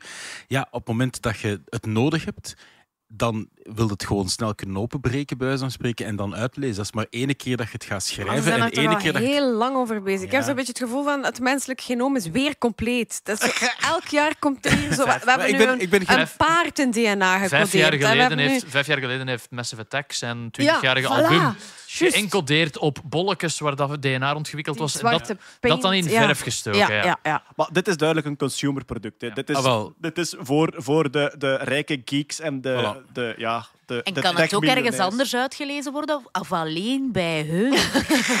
Dat weet ik niet, maar je moet wel eh, apparatuur hebben om DNA eh, uit te kunnen lezen natuurlijk. Zwat, Dat hebben ik ben er geen fan van, maar het is wel mogelijkerwijs een stap dat... Kijk, vooral Kurt, Kurt, Kurt, eh, heb je er al geld in gestoken en is het een soort van, soort van piramidespel? Dat je- zal u- Ik zal u- open doen, maar het is beter als je er vijf koopt. Ik heb hier twee kaartjes, je mocht er eentje van trekken. ik kijk vooral uit naar de Valentijnskaart waarmee je je DNA kan opsturen.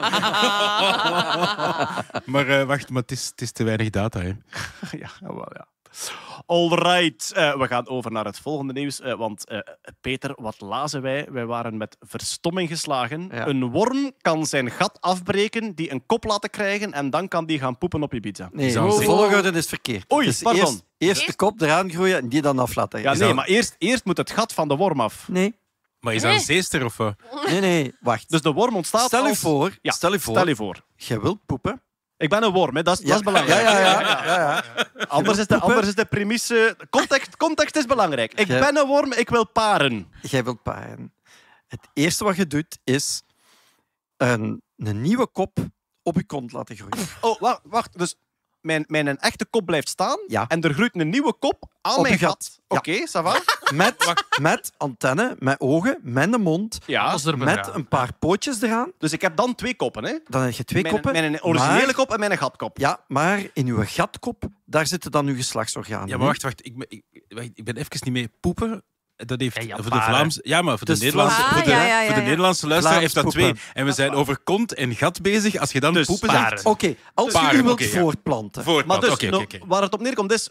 Een worm kan in Nederland altijd al poepen met zijn gat. Ja. Maar nu blijkt dat hij ook in Vlaanderen kan poepen met zijn Ah, gat. oké, oké, Ja. oké. Maar dan moet hij eerst een kop op zijn gat groeien en dan zijn, gat, zijn gat afbreken met zijn nieuwe kop. Het heet de stolon, ja. De Dat, dat- stolom. maar ze, ze wisten dat al langer. Dus ze, de, En waarom stolon- wisten wij dat nog niet? Ja, dat weet ik niet. Hoe vaak dat kan die worm dat doen? Hoeveel van Geen mijn, idee, mijn poepende gaten kan ik de wereld insturen? Hoeveel Waarschijnlijk ani, hoeveel ani kan je afscheiden? Ja. Enfin, dus je groeit eh, een nieuwe kop op je gat. Ja. Met ogen, met voelsprieten, met een paar poten zelfs aan. Met een mond. Met poten? Ja, want, ja wacht even. Wacht even. Ja, dat is het weirde. En, en uw geslachtsorganen daarin. En dan, als dat Waar- helemaal klaar in is, die mond. In je poten? in je kop, hè. Ah. In je kop. Tuurlijk, in die kop wel. En dan Ah, breekt ja. die af. Dan breekt die af. Ja. En dan kan die zich vanzelf Nee! Voortbewegen. Dan En een u- andere kop gaan zoeken om mee te paren. Dan wat wandelt gebeurt uw gat weg. waar. Dan wandelt uw gat weg. Ja, uw piemel is in muil. Ongelooflijk. Te doen, hè. Maar dat is echt, En dat, wat- dat, dat is wat echt doe- long distance seks wat doe ik dan? Dat is eigenlijk Tinder, hè? Mijn, mijn, mijn, Ja. mijn, mijn, gat, mijn gatkop poepend ding is weg. Waar, waar blijf ik mee achter dan als worm? Frustratie. en eenzaamheid. Nee, maar waar, waar gaat het onderzoek nu eigenlijk over? Goeie vraag. We hebben het daar straks, Ik dacht dat je het nooit ging vragen, Peter. We hebben het daar straks gehad over die hoksgenen. En ze dachten altijd dat die hoksgenen waren die dan bepalen waar dat die koppen, hè, waar dat die kop moet komen. Want hoksgenen bepalen hoe je lichaamsbouw eruit ziet. Ah, hoksgenen bepalen welk deel van Waar het lichaam kop, groeit waar zit uw kont, waar zitten Voilà. uw poten? Hè? Dat is wat hoksgenen doen. En ze hebben altijd gedacht dat dit, want dat heet stolonisatie blijkbaar, dus zo'n ding eh, van achter aan een gat bijbouwen. Kotterij bij ja. Wat zou, jij graag, wat zou jij graag willen als superkracht? het Vlaamse huis heeft last van stolonisatie. Ja, ja, inderdaad. En, ehm, en de- ze hebben dus altijd gedacht dat, eh, dat die hoksgenen daar verantwoordelijk voor waren. Maar wat blijkt, het, eh, het zijn ehm, de geslachtsorganen zelf die daar regelen. Dus niks hoksgenen. Het is gewoon... Kijk, Toen mijn het- piemel denkt, ik heb een Ja. kop nodig. maar dat is het juist. Die de piemel zegt, zal ik dat hier weer regelen? Die worm, die worm heeft geen piemel of geen eh, vagina of cloaca, whatever. Die heeft alleen de aanleg tot die, tot die organen. En het is op- Belofte. ja.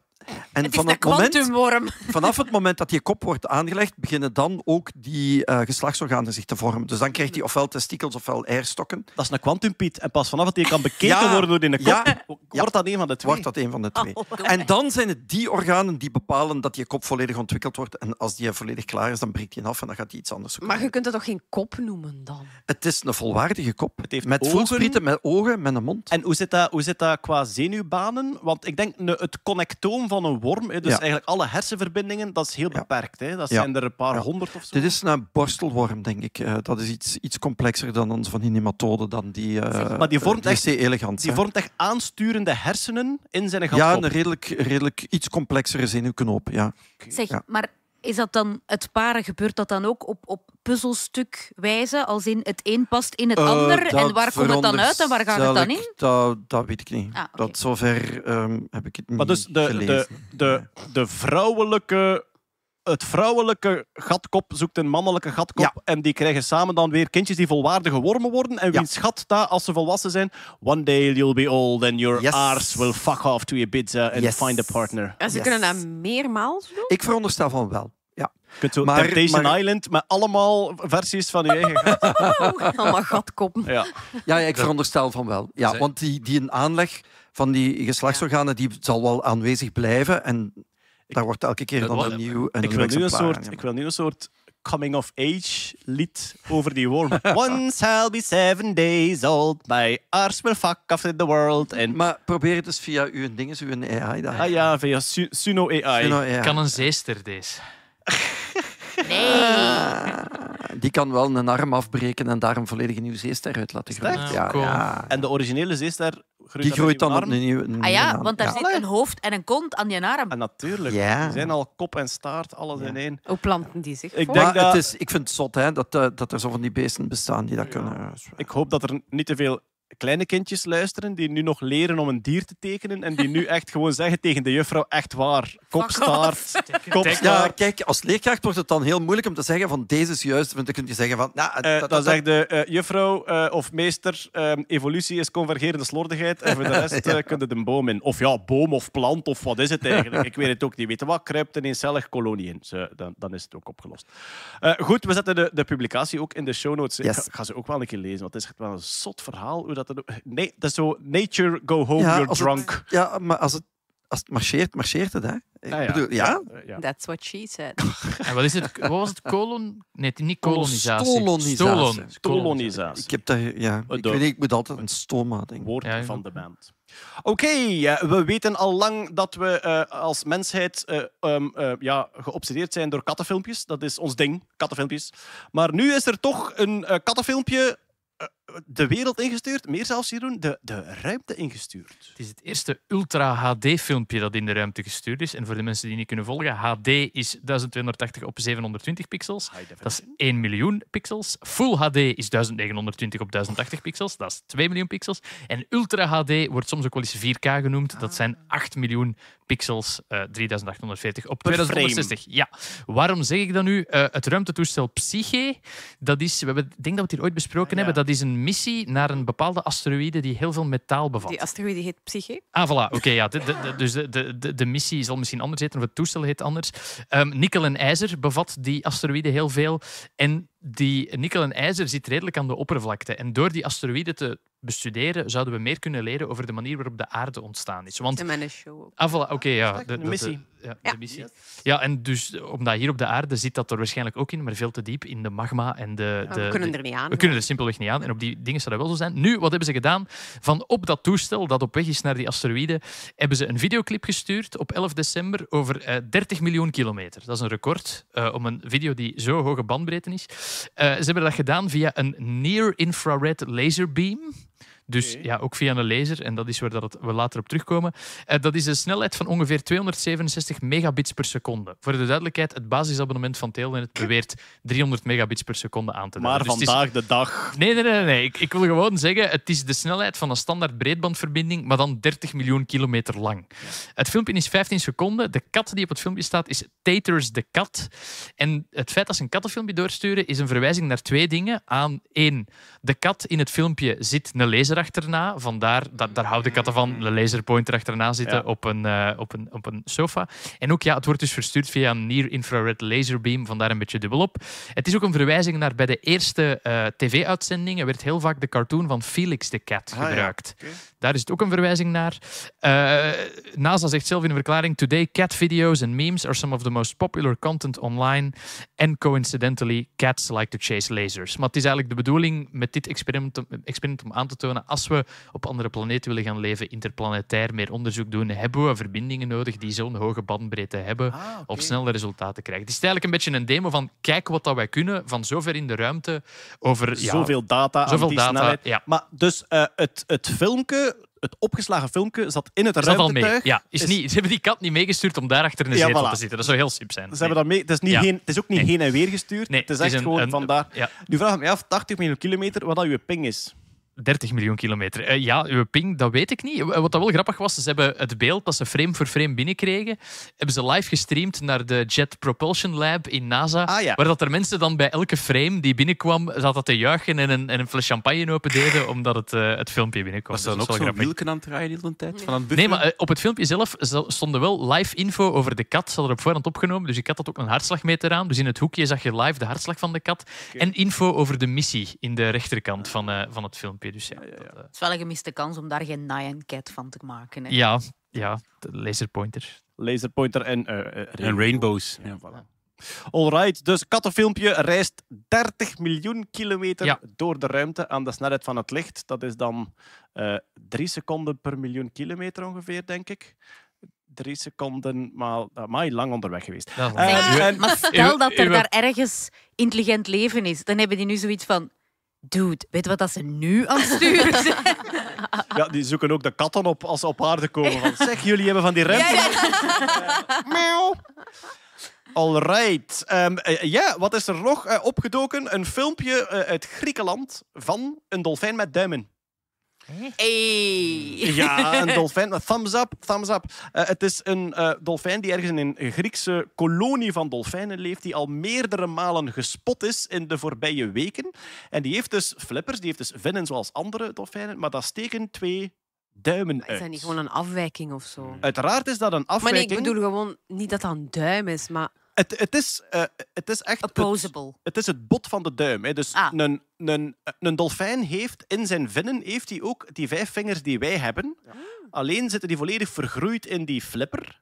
En dus bij deze steekt de duim echt uit. dat is gewoon dat velletje tussen die twee die wat minder... Ze hebben hem nog niet kunnen onderzoeken. Het vermoeden op basis van de foto's is dat de wijsvinger en middelvinger niet ontwikkeld zijn. Dus de, in plaats van dat de vin, eh, als je je hand zo licht uitspreidt en je denkt daar een volledige vin over, dan heb je zo aan een driehoek. Maar als je je wijsvinger en je middelvinger ervan tussen haalt, dan, dan kun je zo'n soort gap krijgen tussen je duim en je ringvinger. En ehm, dus het is sowieso een afwijking, maar alweer het thema van de maand. Evolutie is convergerende slordigheid. Het is wel boeiend om te zien gebeuren en, en u de vraag te stellen: kan een dolfijn iets met tactiele vingers? Die kunnen binnenkort een deur open doen. Hè. Ze komen af. Hè. Ah, wel, ja, dat wordt Ik ook denk dat die dolfijn minder wendbaarheid heeft in het water als die Eh? zijn vinnen slechter... eh, Dat hebben, ze, dat hebben ze bekeken en bestudeerd. En hij speelt en beweegt net zoals de anderen, dus ze zien geen verschil. Maar ik kan wel whatsappen. Ja, voilà, inderdaad. Ja. Ze zien geen verschil ja, zo, momenteel. zo werkt evolutie. hè? Als, als, Ah, tuurlijk, als dit nu blijft bestaan, dan kan die zo nakomelingen krijgen die dat ook hebben. Ja. En er wordt ook vaak gezegd in heel die vraag van waarom is de mensheid uitgegroeid tot dit soort technologische uitbouw en andere diersoorten niet. Eh, intelligentie is, is één ding, maar ehm, eh, dingen kunnen manipuleren, Ja, fijne opponeerbare motoriek, duim. Hè? Ja. werktuigen bouwen, kan enkel maar. hè, een dolfijn mag nog twee keer zo slim zijn als een mens. Hij kan nog altijd geen werktuig bouwen. Wacht maar. Dus misschien Ja. is dit het begin. zie die nu zo Ze in plaats, zijn daar. in plaats van op visjes te jagen, kan die zo blikjes sardientjes opentrekken. Losers. En dan doet hij die open en dan zegt hij... Oh, kijk, dat is familie. Het gekke is wel, als je kijkt naar die vin van die dolfijn met duimen, dat lijkt exact op een flesopener, een kurkentrekker. Hopla. Nee, een, een kroontjeswipper. Hè. Dus voor, Ja, ja, ja. voor, voor, voor een Pintjes pintje. voor voor, is, voor een pintje. Die denkt gewoon van, hey, hier ben ik geen pintje dieren. Wat is dat nou? Jepla. Moet ik, wat, moet een keer een salto doen voor een pintje? Hier is hij. Maar kijk, eh, een dolfijn met duimen. eh, Als die je, dolfijn, Joost van Nifte. ja, waarschijnlijk. Als je een dolfijn met duimen wilt zien, eh, dan moet je dringend naar Griekenland. Ik was dus eh, in Londen begin deze maand, eh, waar dat ik eh, bij DeepMind even binnen mocht. Ehm, en waar ben ik nog binnen geweest in Londen? In de Amazon Fresh Shop. Was dat? De Amazon Fresh Shop. Ook een goeie voor een paar keer te zeggen. Hè? Amazon Fresh Is dat die Shop. winkel zonder medewerkers? Of- Inderdaad. ja, we hebben daar al een paar Dus- keer over gehad. Ik ben binnengewandeld in die winkel. Wat? Ik heb gewoon dingen uit de rekken genomen. Ik ging naar de Het alarm uitgang. is afgegaan. Ik ben gearresteerd. Ik ging naar de uitgang en ik heb het poortje naar buiten gescand met mijn bankkaart en ik liep weg. Amai. En dus al mijn boodschappen, alles wat ik genomen had van de rekken, want ik hing vol camera's boven mijn kop enzovoort. Dus alles wat ik genomen heb van de rekken is herkend door de AI. Mijn gezicht is herkend, want voor mij ging er iemand binnen en die scande in met zijn Amazon-account. Ja, ik was aan het denken, moet je een account hebben? Nee, Ah, je, je hebt twee mogelijkheden. Ofwel scande in met je Amazon-account en dan moet je niet scannen met buiten gaan. Dan weten ze Ze gewoon, weten, die heeft ja. dat mee. En ook, dan gaat het automatisch van je Amazon-rekening en heb je geen bankkaart nodig. En dus als je geen Amazon-account bij hebt, dus bij mij hebben ze vanaf dat ik binnenkwam waarschijnlijk gezegd van ah, dat is een dien vanaf nu. En dan kijken ze wat ik allemaal Dat neem. staat ook in een database, Dundee. Ten diene, ja. Ik ben ook iets gaan terugleggen, niet bewust, maar achteraf bedacht ik me van, ah ja, dat heb ik gewisseld voor iets anders. Allemaal geen enkel probleem. Ik was mee met, met iemand die daar woonde en die zei van, ja, uiteraard, in het begin dat die winkel hier was, hebben wij alles getest. Hè. Banaan verstoppen onder een brood en banaan in de broodzak enzovoort. En zitten er van die tekstjes op? Van die... Nee. Het is zuiver op beeldherkenning. En als je geen Amazon Prime hebt, moet je dan een dag wachten bij die poortjes. Dat gaat alleen maar van dinsdag tot tussen 9 en 17 En uur. wat is uw, uw, uw idee? Het, je zei het onmiddellijk gewoon, echt waar. Ik, ik liep daar buiten en ik weet nog, als we er hierover aan het vertellen waren, dat ik mij zo zat voor te bereiden op een soort kippenvelmoment. Maar ook, die winkel is daar al een paar maanden en ik liep daar rond tussen allemaal mensen. Is daar veel volk? Ja. Ja. En die deden daar allemaal ook zo normaal over dat dat moeilijk was voor mij om. ik had zin hoor, maar er was, er, was, er was letterlijk iemand bij mij die gehaast was. En die zei van ja, maar we moeten voort. En dus ik stond daar echt zo nog met grote ogen te kijken. En die zei van ja, maar we moeten voort dat volgen. Dus het, het werkt, het werkt bijna seamless. Nu, het is natuurlijk Amazon, dus misschien dat er gewoon dat die camera's uitkomen bij allemaal schermen van onderbetaalde mensen die gewoon zitten turven, zitten turven wat er gaan komen. Ka captchas dat wij moeten oplossen. Van, heeft deze man een patat genomen? ja. Waarschijnlijk, ja. Voilà, maar het was wel een, eh, het was wel een, eh, een belevenis, ja, zeker. En dan, Els, eh, ja, het jaar is ten einde. En dan doe je al graag een keer een eindejaarslijstje. Ja, Wat heb jij allemaal staan? mijn lievelingslijstje What did we get stuck in our rectums last year? Het is vrees spijtig dat we zo vroeg opnemen deze maand, want het is nog maar de 22e en dat lijstje komt uit op de 25e. Oh, Dan gaan we een maand nog moeten sparen. Christmas thoughts. dat gaat voor volgend jaar zijn. Hè. Ja. Alhoewel, als deze Niet als geluisterd. Nee, nee, dat doen we nog dit niet jaar. Dat doen we nog dit jaar. Eh, nee, maar eh, wat dat wel al uit is, is zo de, de lijstjes van waar is het meest op gezocht het afgelopen jaar. Ah ja. Van Google, veronderstel ik. Zijn, zijn het mijn- Bijvoorbeeld. zijn het mijn autosleutels? Enfin, waar is het afgelopen jaar in België het meest achter gezocht? Rampen, ontij, eh, ja, ja, oorlog, dat soort dingen. Maar op nummertje drie, in meest gezochte dingen, stond Chandrayaan 3. Chandrayaan drie, de maanmissie. Ja, de de, Indische, de maanmissie. Dat komt door ons. Ik zou durven beweren dat dat Ja. door ons Ja. komt. Ja. Ja. Wel. dat, dat vond ik toch ook wel een beetje een Nerdland-effect was. Zo, hè, hè, hè. Eh, dan in het, in het Frans, je hebt dan ook zo de, de waarom-vragen. En in het Frans was dat, eh, ja, pourquoi dus. Hè. Pourquoi zijn, ja, ik had, ik had half Nederlands, half Frans, maar dat krijg ik niet uitgesproken. Hè. Saplan pour nous. Ja, ja. dus waarom zijn eh tronçonneuses uitgevonden? Tronçonneuses? Tron, tronçonneuses. Ken ik niet. Uh, tondeuses. Nee. Is dat met een A? Dat om... Ah, nee, T-R-O-N-C-D-O-N-N. Ah, dat is dat ding voor de stolonisatie. Ja, in feite wel. het, zijn, het zijn kettingzagen. Kettingzagen. Ja, ja, ja, ja. Dus- Dus onze, onze, onze Waalse, Waalse vrienden die zoeken naar waarom zijn kettingzagen Waarom uitgevonden. bestaat dat? Maar Ah, ik weet dat waarom. blijkt gewoon iets te zijn wat dat helemaal in het begin in onze Nerdland... Eerste weetje van de nieuwe scheurkalender. Ja. Echt? Ja. Ah, dat dat voor chirurgie was. Ja. Vallingen zelfs. Ja. Voor bevallingen? Kettingzaag. Valling met een kettingzaag. Om het bot weg. Auw. Ja, ja. Om het schaambod weg te... Oh god, terwijl ik het uitspreek, krimp Ja. ik al in elkaar. Ja, daar waren Ja. dus de Walen het meest op aan het Maar zoeken. waarom? Waarom? Dat zal Ja? Dat is dan eh, de vraag voor volgend jaar. Hè? Ah ja, waarom? voilà. Ja. Wat hebben wij eh, in Nederlands het meest opgezocht? Dat is een even goede vraag. Waarom is Chiara uit Big Brother? Dat is de hamvraag van het jaar. Ja, ja. Niemand moet het nog opzoeken. Ik zal het nu direct zeggen. Haar moeder was ernstig ziek. Ah ja, oké. voilà, voilà, voilà.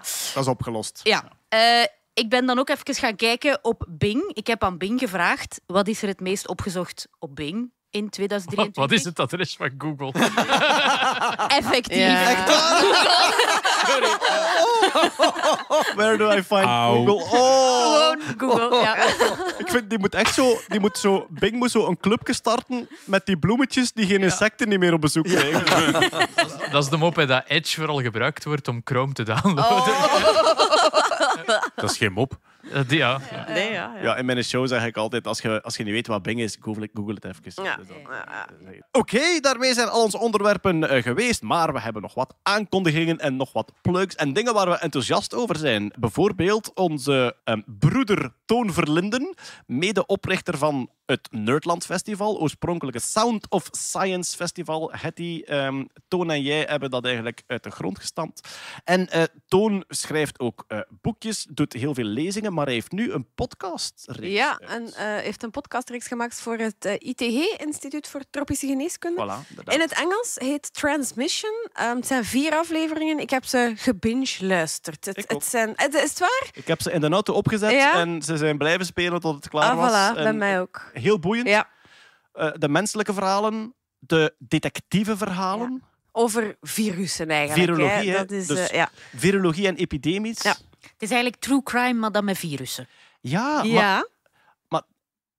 het- je, je krijgt wel een paar aha-erlebnissen. Ja. Omdat gewoon het idee van hoe bestudeerde ebola als er nergens een uitbraak is? Moet je daarop zitten wachten? Moet je dat opzoeken? Als, als er een uitbraak is, moet je daar dan naartoe? Zo, dat soort dingen. Hè? Dus ehm, Waar vinden we hem? Eh, op je favoriete podcast. Ah, eh, dus het is platform. niet dat het exclusief is ergens of voor Nee, of nee, een nee, nee, nee. Het is, super. eh, nee. Zoeken op eh, trans, Transmission hè, van, eh, van Toon Verlinden. Uiteraard gaan we hem ook linken in de show notes. Uiteraard. Absoluut. Maar ja. inderdaad, ik had hetzelfde gevoel. het, Ik heb hem opgezet en eh, in, één, in één ruk was ik er door. Het was eh, eh, ja, inderdaad meeslepend. Yes. Eh, nog iets waarvoor wij zeer enthousiast zijn, en dat is deze morgen online gekomen. Dat is de kerstpuzzel. Ja. De kerstpuzzel van Defensie. Ik zie Els al enigszins meewarig naar Hetty kijken en denken van... ik heb ik- uw vrouw ook Die ben ik weer ik ben, kwijt. ik ben weer een weduwe voor de, voor, voor de komende twee maanden. Dus inderdaad, de, de puzzel is weer uit de kerstpuzzel van Adif. eh, voor wie het niet kent, het is ja, de, in, de, de eh, inlichtingen- en veiligheidsdienst van het Belgisch leger. Dus waar ook alle cryptografen zitten en ontcijferaars enzovoort. En die maken, naar voorbeeld van het Nederlands leger en het Britse leger, maken die al een paar jaar rond kerstdag de moeilijkste puzzel van het jaar. En ehm, ik heb zo net, want hij is net binnen, ik heb zo net door de opgaves gelezen en daar zitten weer opgaves bij waarvan ik in de lach schiet als ik ze zie. Omdat er staat gewoon waarom vraagteken en dan heb je allemaal kriskras-lijntjes door elkaar en een hoek die aangeduid is. En you're on your own. Bijvoorbeeld, ja, ook, dat is ook een, een tekening van een, een, een Mexicaanse piñata. Ja. En er staat gewoon, de opgave is beantwoord de vraag op de piñata. En je denkt, ja... Er staat niks op de piñata. Dus je moet echt gaan zoeken naar verborgen dingen die daarin zitten enzovoort. Wordt veel gebruik gemaakt van morsen, van ontcijferingstechnieken. Ehm, als je die puzzel opendoet, dan en Dan onvoorbereid. begin je te lachen en je doet hem terug toe. Maar dat is effectief zo. Als, als je hem onvoorbereid opendoet, zijn er twee mogelijke emoties. Ofwel zeg je, oké, eh, nooit van mijn leven en je loopt weg. Ofwel zijn je zodanig geïntrigeerd dat je je afvraagt, hoe kun je dit in godsnaam oplossen? Het beste wat je dan kunt doen, is die van vorig jaar bekijken. Alle vragen met de oplossingen staan online. En dan kun je zien van, ah, oké, dus in die tekening zit een, daar een kleurcode verborgen die je dan via morse kunt omzetten naar dat. En daar komt dan een aanwijzing uit, waardoor dat je toch uit de vorm van de poot van die tekening een letter kunt halen. En zo is het altijd een opsomming van dingen. Je moet echt naar die vragen zitten kijken en alle mogelijke eh, versleutelingen in je kop afgaan die er kunnen Tot, tot wanneer hebben we om in te dienen? Sorry. Tot 30 januari. Als je houdt van lineaire oplossingen, is hij niet voor jou. Nip, dan moet je sudokus doen. Ja. het oplossen van een puzzel, dat is beter dan klaarkomen, vind ik. Eh, Ik herinner mij, Hetty, ik was er niet bij, Els. Maar, eh, en ze heeft heel de tijd aan u gedacht. Maar ik, eh, ik herinner mij, vorig jaar heb jij een opgelost. En ik denk dat jij vier of vijf WhatsAppen in hoofdletters gestuurd hebt. Waaronder eentje, wat een gevoel. Maar het is echt zo, hè. Echt waar, echt Ge- waar. Je zoekt in 20, 30 richtingen. Je loopt constant vast. En op een bepaald Maar moment... ik zeg, dat klinkt superleuk. Ja, op een bepaald moment Ziet zie het. zie een lichtje. Dat is eigenlijk is, je ziet een klein barstje, je begint eraan te peuteren, het gaat open, het gaat open. En dan valt het en dat is fantastisch. Hè? Het moment dat je hem echt opgelost hebt. En de vorige jaren was het zo dat de eerste en de tweede vraag eigenlijk goed te doen waren. Mhm. Dus dat je met de, en daarmee bedoel ik dat je met de eerste en de tweede vraag na drie, vier uur nadenken en eventueel brainstormen met iemand anders, dat je wel ergens geraakt. Zo. En dan voor al de andere moet je wat ervaring hebben van de vorige Er jaren. staan en, ook eh, moeilijkheidsgraden bij. Hè? Ja. Ah, Op dit de- jaar niet, denk Is ik. het waar? Denk ik niet. Op onze Nerdland Discord-server zijn er ook altijd mensen is in het juist. puzzelkanaal die ermee bezig zijn. Dus als je Ja. een beetje een, een tip in een bepaalde richting wilt of je wilt discussiëren, dat is ook eh, discord.nerdland.be. Eh, je mag in groep puzzelen. Ja. Eh, Ja. Dat doen wij ook. Hè. Wij puzzelen in groep. Als je echt voor de competitie gaat om het te winnen, ja, dan moet je wel al van goed in huizen zijn. Ik denk dat je best, toch best eh, één of twee jaar ervaring opbouwt. Eh eer, dat je, eer dat je echt voor de competitie gaat. Wij hebben dat eh, vrij snel opgegeven. Bij ons is het, eh, bij ons is het zuiver voor de lol. Ja, voilà. En dan zijn we heel nieuwsgierig. Ik denk in Nederland dat er ook een junior-editie is. Ja, dat is juist. Ja, dat je in Nederland dat je ook eentje hebt die ook heel lastig is. Ja, maar ik die- dacht, ik ga die een keer open doen. Misschien is dat iets voor mij. Nee, ook niet. Ah, wel, maar dus die is even versleuteld, Ja. maar wel met dingen die ze kunnen weten. Dus daar zitten geen referenties in. Eh, Bij, bij, bij die van ons kunnen er referenties in zitten dat je niet kunt weten. Ik zag trouwens ook één, moet ik nu net aan denken. Er is één vraag, dat doen ze heel vaak, zo bij een vraag heel duidelijk verwijzen naar iets. En er is één vraag die verwijst naar Catan, naar het spel. Zo met allemaal zeshoeken. Ja. Zijn er verkocht? Nee, als- nee, nee. Ik heb vorig jaar ben Ja. ik in zo'n putteke gevallen met het spel Set, Set. wat ik Ah, heel graag ja, speel. Ik heb die in alle mogelijke vormen op mijn bureau gelegd. Ik heb daar heel lang zitten op staren en ik was niet eens in de buurt. Ah, ja, je hebt oplossingen gezien ook achteraf. Ja. Maar dus er is eentje die met, die met Catan werkt. En daar, eh, Kurt, Kurt is hier naast mij, is er live een aan het proberen oplossen. Laat dat los. Oh ja, goed. Komt helemaal goed. Alright, eh, wat gaat er nog allemaal gebeuren? Ja, wij zijn nog bezig met onze eigen projectjes. Bijvoorbeeld, Hetty, jij speelt nog shows van Missie 2023. Ja, normaal was ik eh, tot eind maart op tour met Missie 2023. Dat is nog een veertigtal shows. Die zijn bijna zo goed als allemaal uitverkocht. Dus er komt nog een extra bij, half april, in een grote zaligheid in de Capitol. Wat? Ja!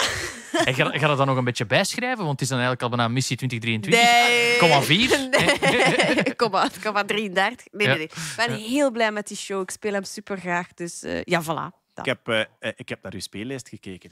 Miljarden. Heb je, heb je het al vergeleken met aantal tickets vorig jaar, aantal kijkers vorig jaar? Nee, nee, nog niet. Nee. Maar Ik denk dat het quasi verdubbeld gaat Denk zijn. ik, toch. ik had een indruk inderdaad dat eh dat Maar verdubbeld. de kapitool, hoeveel zitjes is dat? 1600? 1200 1200 of 1600? Super blij. Maar het is, het is een thousand seater. In, eh, in, ehm, in Engeland is dat Ah, ja. een grens. Hè? Dus het moment dat je thousand seaters speelt, dat is, eh, ja, dat Ah, is een super. Nee, nee, ik ben daar heel, heel, heel blij mee. Is er al een datum voor de Capitol? Ja, 19 april. 19 april. Prachtige vrijdag. Yes, allen daarheen.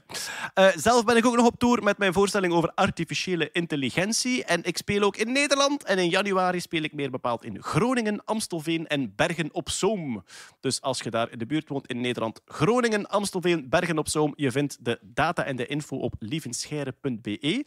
En mijn boek over AI is natuurlijk ook nog uit. Kan je nog altijd bestellen. Een toegankelijke introductie voor wie wil weten hoe AI werkt, wat het precies kan en wat we er in de nabije toekomst mee gaan doen.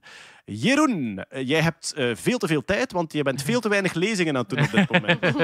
ik, heb, ik ben lezingen aan het geven eh, over AI voor bedrijven. Een brede vogelvlucht door het thema van AI met de voordelen, de nadelen en waar we in de toekomst naartoe gaan. En die ga ik op heel veel plekken geven. En dat gaat echt van ziekenhuizen tot, tot autogarages, tot congressen, tot... Allee, ja, het is plezant om in heel veel bedrijfsmiddens te komen en dat te doen. En Iedereen dat, wil dat het gaat weten, heel goed. Ja. Er is heel veel vraag naar eh, eh, eh, dingetjes, maar eh, ja, ik maakte net het mopje, je hebt te veel tijd. Je zet heel veel lezingen Ik heb op te veel ja gezegd, moet ik eerlijk zijn. Omdat ik het gewoon zo interessant vind en omdat dat er veel mensen me toch weten te overtuigen van oh ja, dat gaat wel tof zijn. Ja. Dus jeroen-baart.be. Maar ik kan nu al zeggen, voor januari, februari, maart wordt het moeilijk. Maar, maar voor later in het jaar zijn er nog momenten. Ja. Voilà, ze, AI-lezingen door Jeroen, als je ook wil weten hoe het precies werkt allemaal. Voilà, dat zijn al onze bezigheden. En dan hebben we ook nog een sponsor, en dat is deze maand, Jeroen. Prismax. Ik En- bedoel, deze maand, comma Jeroen. Niet dat... ja, ja, ik ben niet de sponsor. Jeroen, jij sponsort ons. Is dit wat de sponsor wil? Ja, Ja. Je hebt zoveel verdiend met jouw lezingen dat jij sponsort. Ja, een soort van broekzak, vestzak operatie, inderdaad. Ja. Een heel sympathieke sponsor deze maand. Ik heb hem persoonlijk gesproken. Nee, eh, de sponsor is Prismax. En Prismax, Prismax, P-R-I-S-M-A-X. zoals Prisma met een X achter. Correcto. Is dat een Prisma-bedrijf opgericht door Elon Musk? Nee, het is cooler dan dat op een of andere manier. Want hun origin story is fantastisch. Eh, die man heeft dat aan mij verteld. We hebben er eh, een paar Waren, keer geleden waren het radioactieve eh, eh, schildpadden Nee. die in een riool leefden? De origin story ligt in de beruchtste discotheek van eh, België. De Zillion. In de Zillion. Echt? Ooit had Frank Verstraeten, denk ik, de, de baas van de Zillion, had ooit een idee van oké, we gaan gamen op de dansvloer in de Zillion. En dit bedrijfje, heel pril, Prismax, zijn de eerste die eigenlijk een soort van hypercoole landparty georganiseerd hebben. En de Zillion hebben nagebouwd in Quake destijds toen. Dus een virtuele Zillion, waarin dat gespeeld op de dansvloer in Zillion.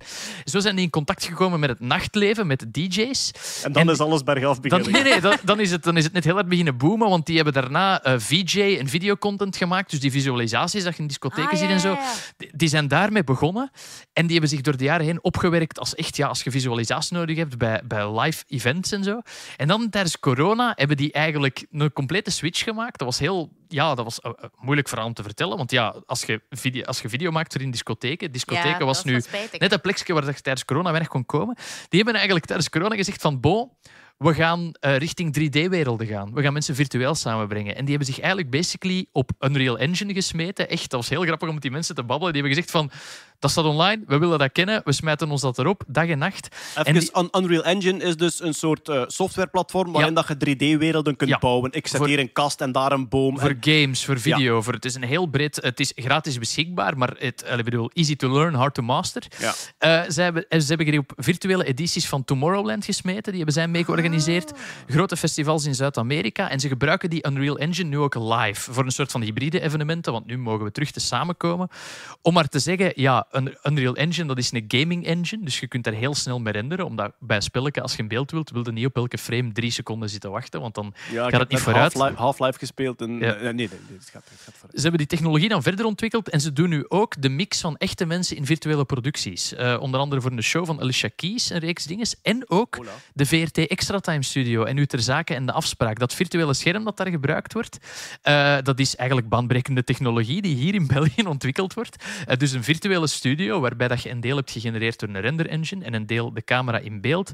Ze zijn bezig met digitale twins, met pixel streaming, dat je niet alle eh renderdingen op je eigen device moet doen. Want bijvoorbeeld voor zo'n ingewikkelde 3D-wereld te renderen, dat wil je niet op een bril doen dat je op hebt. Dat wil je in de cloud doen en streamen naar iedereen zijn bril. Maar dan zit je weer met de technologie van latency en bandbreedte. En er komt ongelooflijk veel bij kijken. Ze zijn Maar dus bezig aan... je zit met ehm eh, computer graphics, 3D-werelden, ontwikkeling, heel specifiek voor media en events. Ja, voor media en events, voor real-time belevingen ook. Dus niet een cool filmpje maken, dat renderen en dat uploaden. Het is voor real-time belevingen en vooral ook voor sociale interactie online. Ja? Wat zoeken zij? Wel, ze zijn op zoek naar programmeurs die met die game engine willen werken. Want ze zeggen bijvoorbeeld, er zijn in, in België best wel veel mensen die afstuderen in de gamesector. Eh, Er zijn opleidingen, denk ik, in Kortrijk. Kortrijk, eh, wereldberoemde opleiding. Wereldberoemde opleiding. Ehm, dus ze zoeken mensen die eh, in die game engine willen en kunnen werken. En ook grafisch inzicht hebben en in de evenementensector wil terechtkomen. Want ik moet het u niet zeggen, ja, van die festivals als Tomorrowland, eh, genre Zillion versus-achtige toestanden. Mhm. Ja, je komt wel eens op een plek. Eh, het is ook een beetje, de technologie wordt ook gebruikt in eh, bijvoorbeeld The Mandalorian. Die reeks, niet, Ja. hun, niet hun technologie, maar hetzelfde concept. Eh, je hebt in plaats van mensen voor een, een bluescreen te zetten, plaats je die eigenlijk in wat dat ze noemen de volume, wat dat eigenlijk een hele hoop schermen is, een heel groot scherm. Ah, dat is juist. En op basis van waar dat de camera staat, verandert de achtergrond. Waar dat je dus Zodat eigenlijk klopt met de geen zichtlijn. totale ja, ja. set moet maken. Daar zijn ze ook mee bezig met dat soort technologie. Het is een internationaal bedrijf. Ze zitten in Mechelen, Utrecht en Dubai. Dus je kunt Oké, een stukje van de wereld Die drie ook. Mechelen, Moment- Utrecht, Dubai. Momenteel zijn ze met 35 personen, maar van ermee te praten, het zijn enorme technologie-nerds. Vooral ook de drive van, oké, we gaan ons hier zelf hier moeten heruitvinden tijdens corona, we gaan ons daarop smijten. En dan, ja, ik, ja, ik, ik herken er ook een beetje nerdiness in, in van, we gaan dat niet gewoon leren, we gaan godverdomme het allerbeste, alles daarvan leren en daarin excelleren. Maar dus En dat te- is schitterend. Technologie-nerds, wat je heel hard merkt, is het is bouwen, het is creëren. bouwen, Het het is is creëren, Het is ja, echt absoluut. uitvinden, wat kan ik hiermee doen en het dan ook maken. Ja. Het feit dat je terechtkomt op events, op media, wil ook zeggen Heel dat, internationaal je, ook. dat, je een, dat je een publiek hebt om, Ja. om, om te tonen wat je kunt. Meer zelfs, eh, wij zijn langs geweest op een eh, event. Ah, kijk eens aan. Hetty en ik zijn Ja. langs geweest op een evenement waar ook Prismax technologie te zien was. En dat is de warmste week. Ja. Maar, De warmste week in eh, Brugge, eh, intussen voorbij. Ja. Ehm, daar, ehm, daar wordt ook Prismax-technologie gebruikt. En wij hebben een, wij hebben een soort schoolreis rondleiding gekregen, Hetty en ik. cool. Rondleiding achter de schermen Ja. gekregen. Eigenlijk door de, door de VRT-nerds. Ja. ja. eh, de die Kurt, innovatiecel, hè? die was- Kurt vrij goed kent, Ja. de, de innovatiecel. Uw Eh, neef was daarbij. Mijn neef. nee, Ja? Jeroen zijn neef. Nee, Mijn hè? neef? Nee, nee, nee. Ja, nee. dus Die heet Baart, neef. Klaas Baart. Ja. Klaas Ja. Baart. Ah, onze Klaas. Ja, ja. Klaas Nee, Kloos. nee, mijn neef, ja, Klaas Baart. Ja. Ja, dus die heeft ons rondleiding Ja. gegeven. En wat dat wij eh, ja, uiteraard niet wisten, maar ook niet verbaasd over waren, is Nerds Make the World Go Round. Dus heel dat evenement daar draait uiteraard op de presentatoren enzovoort. Maar daar zit een hoop technologie achter. En wat dat heel cool was, vond ik... ehm, heel veel mensen komen naar daar die een actie gedaan hebben. Ik denk 4000 in totaal. Ze hebben natuurlijk niet genoeg tijd om 4000 mensen tot bij de presentatoren te laten komen. Dus ze hebben nu aparte kottekes waar dat ook eh schermgezichte radiopresentatoren hun eigen studiootje hebben. En waar dat mensen hun actie kunnen komen vertellen in een soort setting. Waar dat ruimte is om te zeggen wat heb je gedaan enzovoort. Dat wordt volledig gefilmd en dat wordt dan echt met grafiek en met logo en zo Zalig, wordt ja. dat doorgestuurd naar die mensen. Dus als jij met je lokale vereniging een actie gedaan hebt, dan kun je effectief naar Ginder gaan. En bijvoorbeeld Sabine Hagedoorn heeft een paar uur mensen ontvangen, gevraagd wat heb je gedaan enzovoort. Dat filmpje wordt, en dat is het coole wel, Vol automatisch. volledig Ja. geautomatiseerd. Ja. Dus je stapt binnen in die studio, je hebt een ticketje gekregen. Die studio weet al door het inlogsysteem wie dat jij bent, wat dat je e-mailadres is. Jij duwt op een rode knop, alles begint te spelen. Jij doet een babbel met de presentator. Jij duwt nog een keer op die rode knop. Dat filmpje wordt gerenderd, grafiek opgezet, doorgestuurd naar uw mailadres en niemand heeft daar nog achterloop aan.